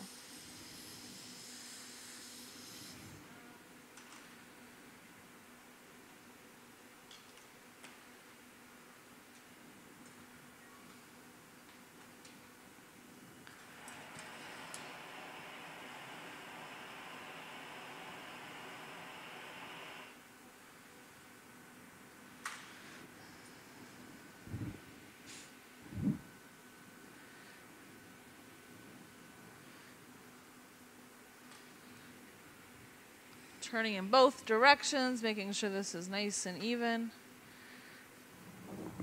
Keeping those lines running nice and straight. That's really important when you work with cane is turning nice and even. She'll start to use these jacks to start to squeeze in a jack line, but also to cut in the little waist. So these vessels are sort of a gourd shape. It's got this nice contour or waist. And so she's going to start to squeeze in those lines right now. And then this line off the end of the blowpipe, that's where she'll break the glass free when it's time.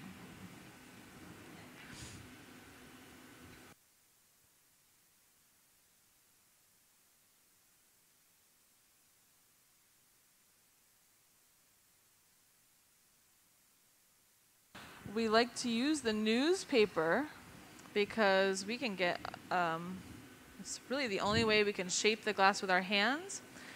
Um, if you use the block, the wooden block, you get one shape, which is that Q-tip shape. The newspaper allows her to cool just the bottom, and it's nice and soft and gentle, so she can cool the glass and shape it with her hands. So she can actually even, if she wanted to, she could even kind of squeeze with her fingers.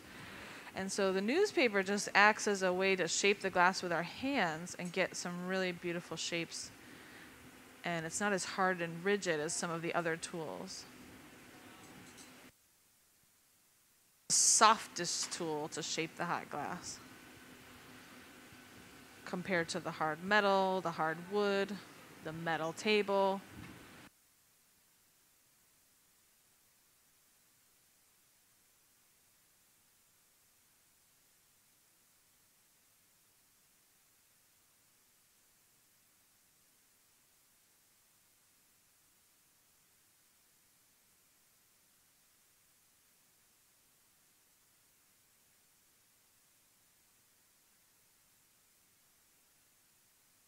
Going for a quick reheat.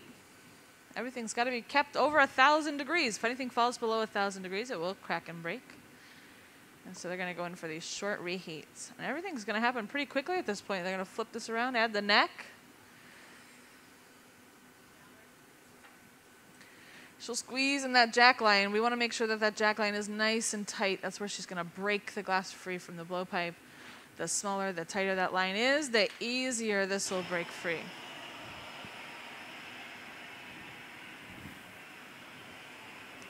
You have any questions so far? No?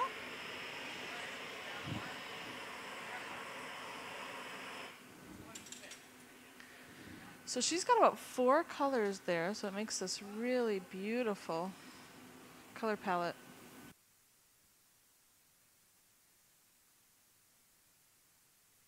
I believe she does. Katie, you have an Etsy store online, right? It's, it's in its beginning stages. I know she was working on it um, last month, but you can keep your eyes open for Katie's Etsy site, which is a handmade site which she sells some of her glass on. She'll be selling um, some pieces in the Corning Museum of Glass shops, um, I believe in the fall. That stuff will go out on display. Um, but yeah, check out her Etsy site. I think this will maybe give her a little push to get that site up and going. But I know she was working on it and putting some pieces that she had made on it. She had some professional pictures taken. And so, yeah, definitely keep your eye on open for that. We all um, work and demonstrate here for the museum, but we all are our own independent artists and have uh, most of us have our own businesses, and so we um, can do that on the side as well.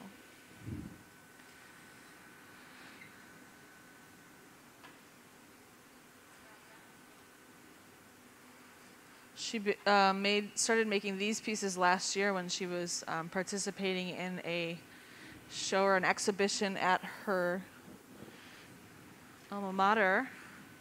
Emporia State or a gallery in the in that area. And so she made one of these pieces for the first time, and now she's starting to make these pieces um, again.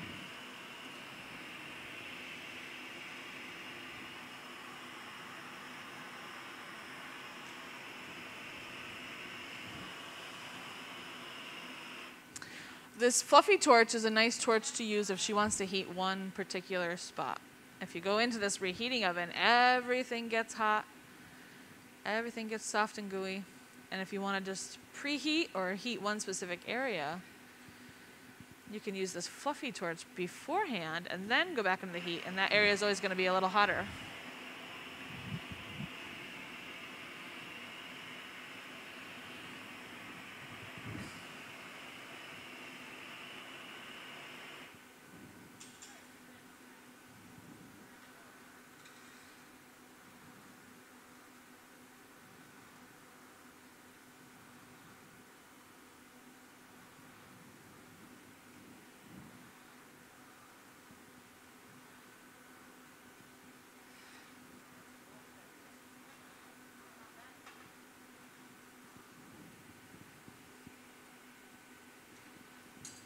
She squeezes down that line some more just to define it.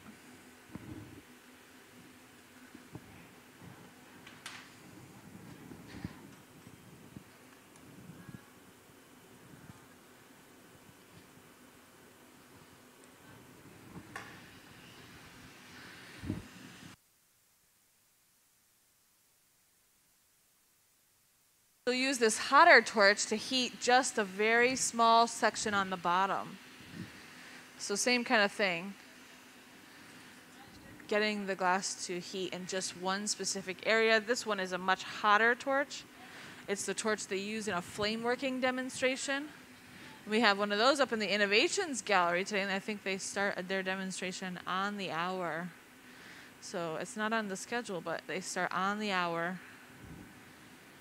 And you can catch one of those demonstrations where they make little intricate sculptures in a flame instead of out of a furnace. But she used that to heat just the very bottom to create um, a little flat spot. This will become the base of this bottle form. And so Chris is going to make a punty. A punty is just a little bit of glass on the end of a solid rod, and it's going to act as a transfer rod. So they're going to transfer this off of the blowpipe onto that solid rod, flip the whole thing around, and work on the top of the opening. So he'll shape this up, and we're looking for sort of a Q-tip shape.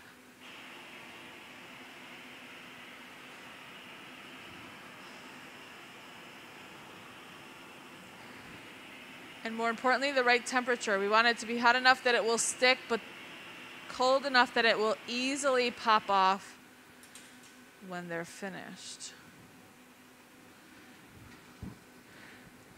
Do you guys mind just going either to the, the seat above or the seat below? Thanks.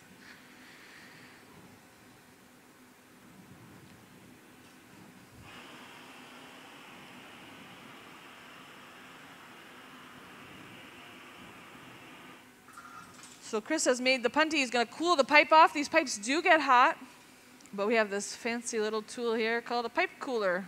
It cools off the metal, so they're just rolling it. He's just kind of cooling it in the cold water. He'll give it a little heat. There's a nice um, view. This has looked very orange so far, but now you can see it's at its colder state. It's that beautiful blue tones, those cool tones.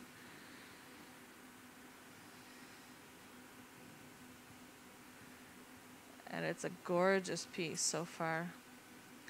All right, watch this. They're gonna stick it. She's gonna stick the punty right in the center of the foot.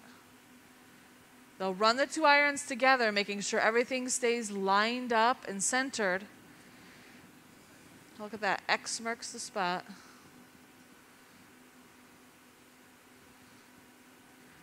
She'll cool off that constriction line she made earlier, and with a light tap, this should pop right off.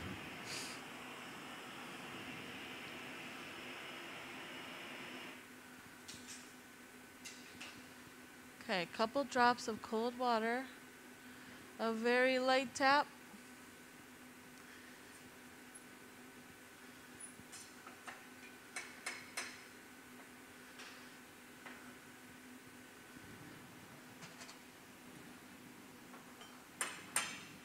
A big round of applause for a nice clean break. All right. Now, if you look up at the screen, you can see there's a small hole left behind. She's going to spend a little time heating that up, and then they're going to add the neck, and then this piece will be finished. So we're really, really close. These pieces take Katie about an hour, but she's got a lot of prep work already into these pieces. So she spent the last couple of weeks pulling all the beautiful canes. So all those lines of color that you see in this piece, I think she's got four different colors in this piece. She had to do a separate cane pull, which probably took a half hour or 45 minutes per cane pull just to make the color um, for the pattern. And so these are very um, time consuming pieces, but the end result is really, really beautiful and well worth it.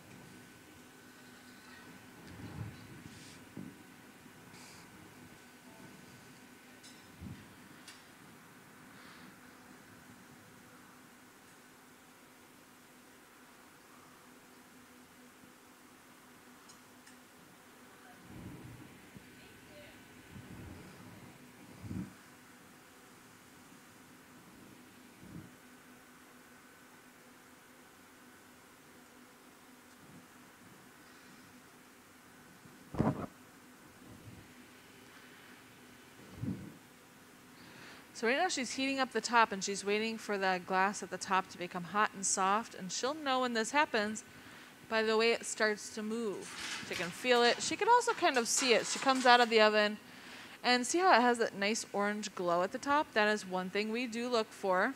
That does tell us that the glass is hot and soft. She's gonna pull and trim the lip. So she's right now she's pulling it. This is a technique we call pulling and trimming. And then she's gonna trim the lip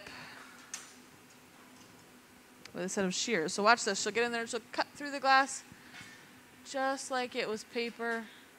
The glass has to be very hot, very soft in order this, order for her to cut through this like that. So um, the sensation, the sensation would be kind of like cutting through wet cardboard or an orange peel with scissors, but her fingertips were so close to the hot glass that they probably got warm as well. So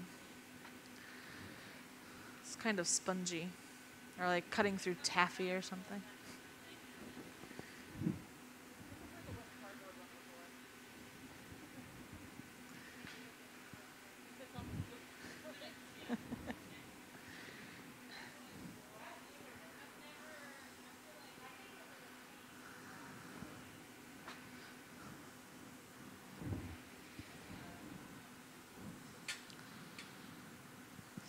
She's going to heat this up, soften that cut edge, and use the newspaper to close this down a little bit. See how she can really squeeze the glass with her hand? That's one reason we do like that newspaper. She's going to puff up the top with a tool called a Sofietta. Round out the top a little bit. So even after the glass has been removed from the blowpipe, we can still inflate the glass a little bit.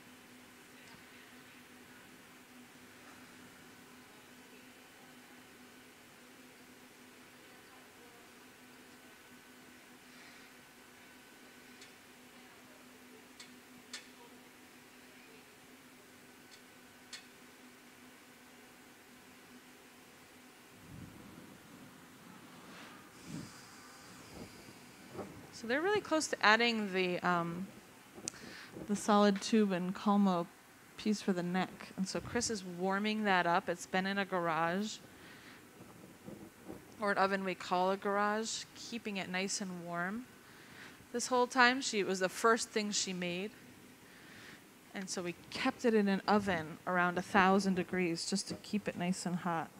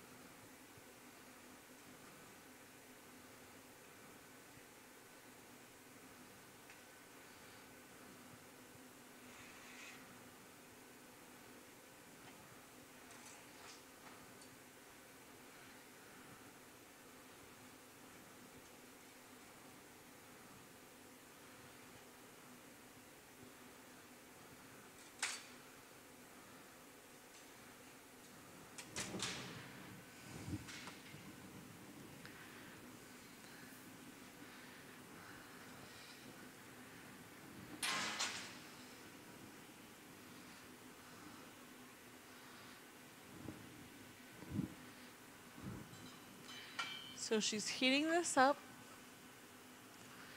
They're going to stick these two together, and we want to make sure that the two pieces that they're sticking together are nice and hot. Glass only sticks to other things that are hot.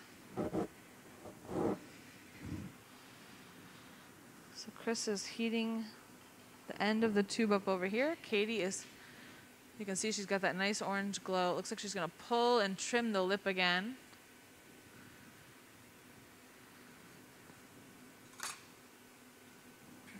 Making it a little smaller. This time, instead of cutting the glass, she's going to constrict it down with the blades of those jacks and then tap off the little ruffled part at the end. So there is a few ways to do this, and if you need it to become the hole to become a little smaller, this is probably the best way to do it.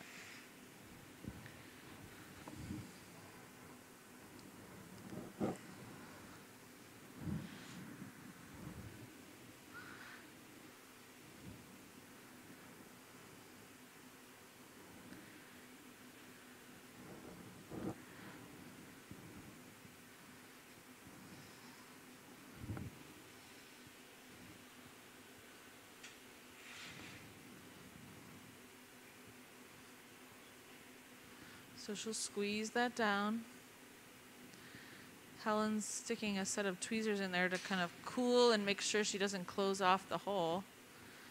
And now they're going to break that little bit off the top. Okay, watch this. She cools it. Helen will give it a light tap. And it pops right off. There we go. She said one more puff and then they're going to stick on the neck.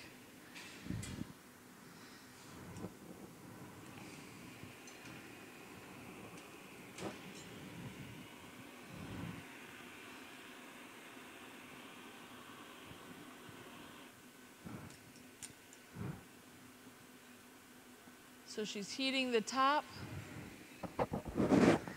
waiting for that to soften.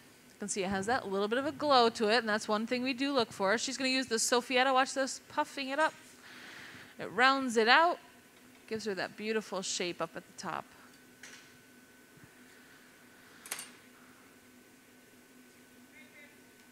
All right, so she said she's ready, so she's communicating with Chris. Chris is going to start to heat the edge of the tube, and they're going to stick the two together. This is a process we call encalmo.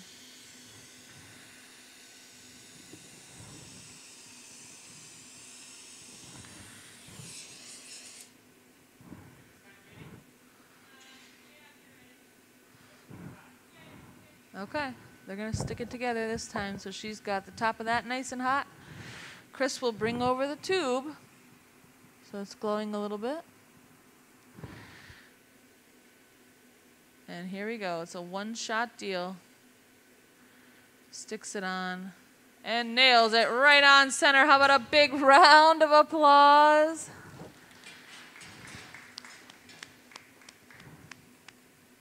She nails it every time. Do you play darts, Katie? Do you play darts? no? Maybe you should start. Join a league.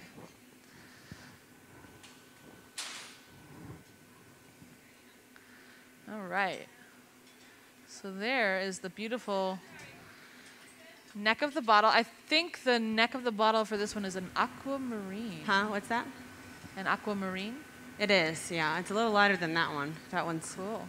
pretty dark, so it's Beautiful. a little less color. But it should bring the blues out a lot, I think, and that's why I chose pink for the top of the other one, and that'll bring some of those pinks out a bit more. Going with the theme here. All right, so they got a little color in it, a little bit of movement. They're gonna open this up into a nice cylinder. So she goes in with the blades of the mm-hmm. jacks. Slowly starts to open it up. Chris is shielding her arm. Eventually, he might hold the paddle on the lip of the piece to make sure that the lip stays nice and straight. I'll take it here for a sec. Big old line in it. She'll preheat the edge with this small hand torch. This will make sure that the lip gets a little extra heat. Okay. And then, of course, adding a little heat to that punty so that it doesn't get too cold. Amanda's taking a couple shots that she'll put on the uh, social media so we can get some previews of this piece uh, because this is going into a slow cooling oven where it will stay for the next 16 hours or so. So we won't be able to see this for a day or so until it's slowly cooled overnight. That's the hardest part, I think, is waiting to see the piece you made the day before or two days before. So she's just opening that up.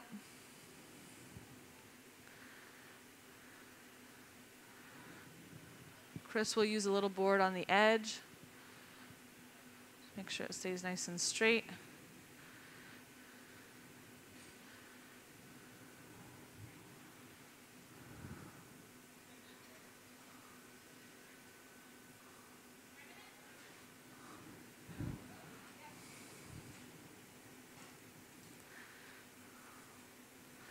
So they're going to trim the lip here, make sure it's nice and even. So they'll use those shears again to cut through the hot glass.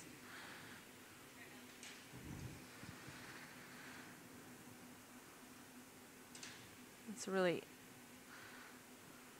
the process of trimming is not easy, but cutting through the hot glass is kind of easy. It's kind of spongy and gooey, so she gets in there and cuts. She works really quickly because the glass cools so quickly.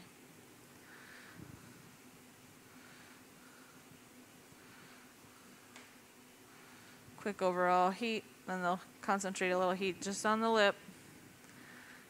She'll open this up. Chris will use a board, and then this piece is very close to being finished.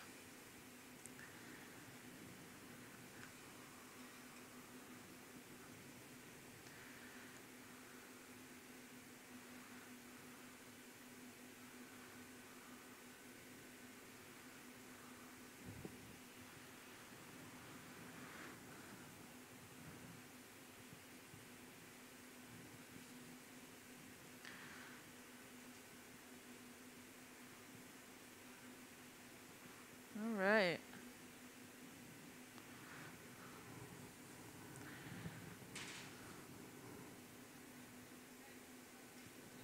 Couple quick flashes to even out the temperature. She's going to build up a little heat in the bottom of the piece. And then she'll remove it from that punty. Yeah, that'll be all. That'll be. And we've got two beautiful bottles from Katie Hubbs' Bring the Heat live stream demonstration.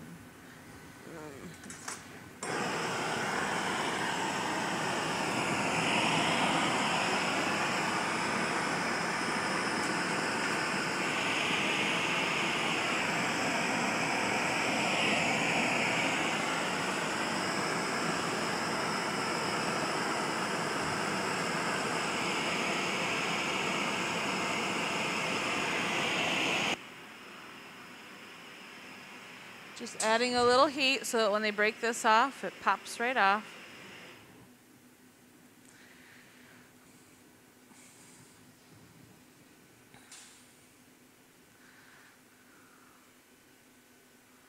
But that was a beautiful demonstration. A lot of hard work into these pieces and a beautiful job.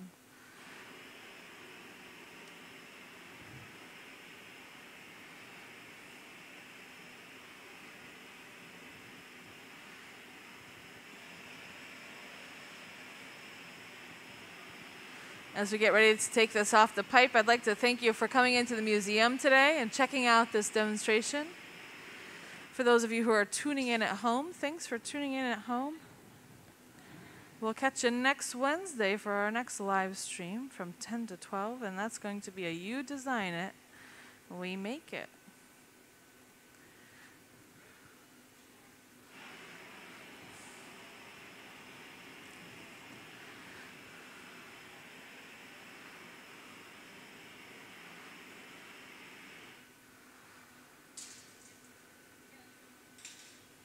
Right, here we go.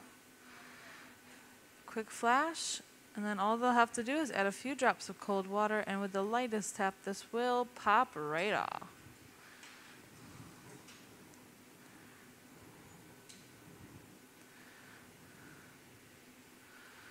She drops the pipe down below so that the piece is high in the air. The water will fall back towards the punty and not the piece. Chris is ready to catch it if it does pop off early. Light tap. Look how easily that pops off. They'll fire polish the sharp edge. Hot glass does break like cold glass. And Chris will get this into our slow cooling oven to cool slowly overnight. So into the oven. A beautiful cane bottle with an Encalmo necklace. Katie Hubbs, how about a huge round of applause for a great demo and a beautiful piece. Chris Rochelle, Helen Tagler as assistants, and everyone else that helped make this live stream possible. Thanks for joining us.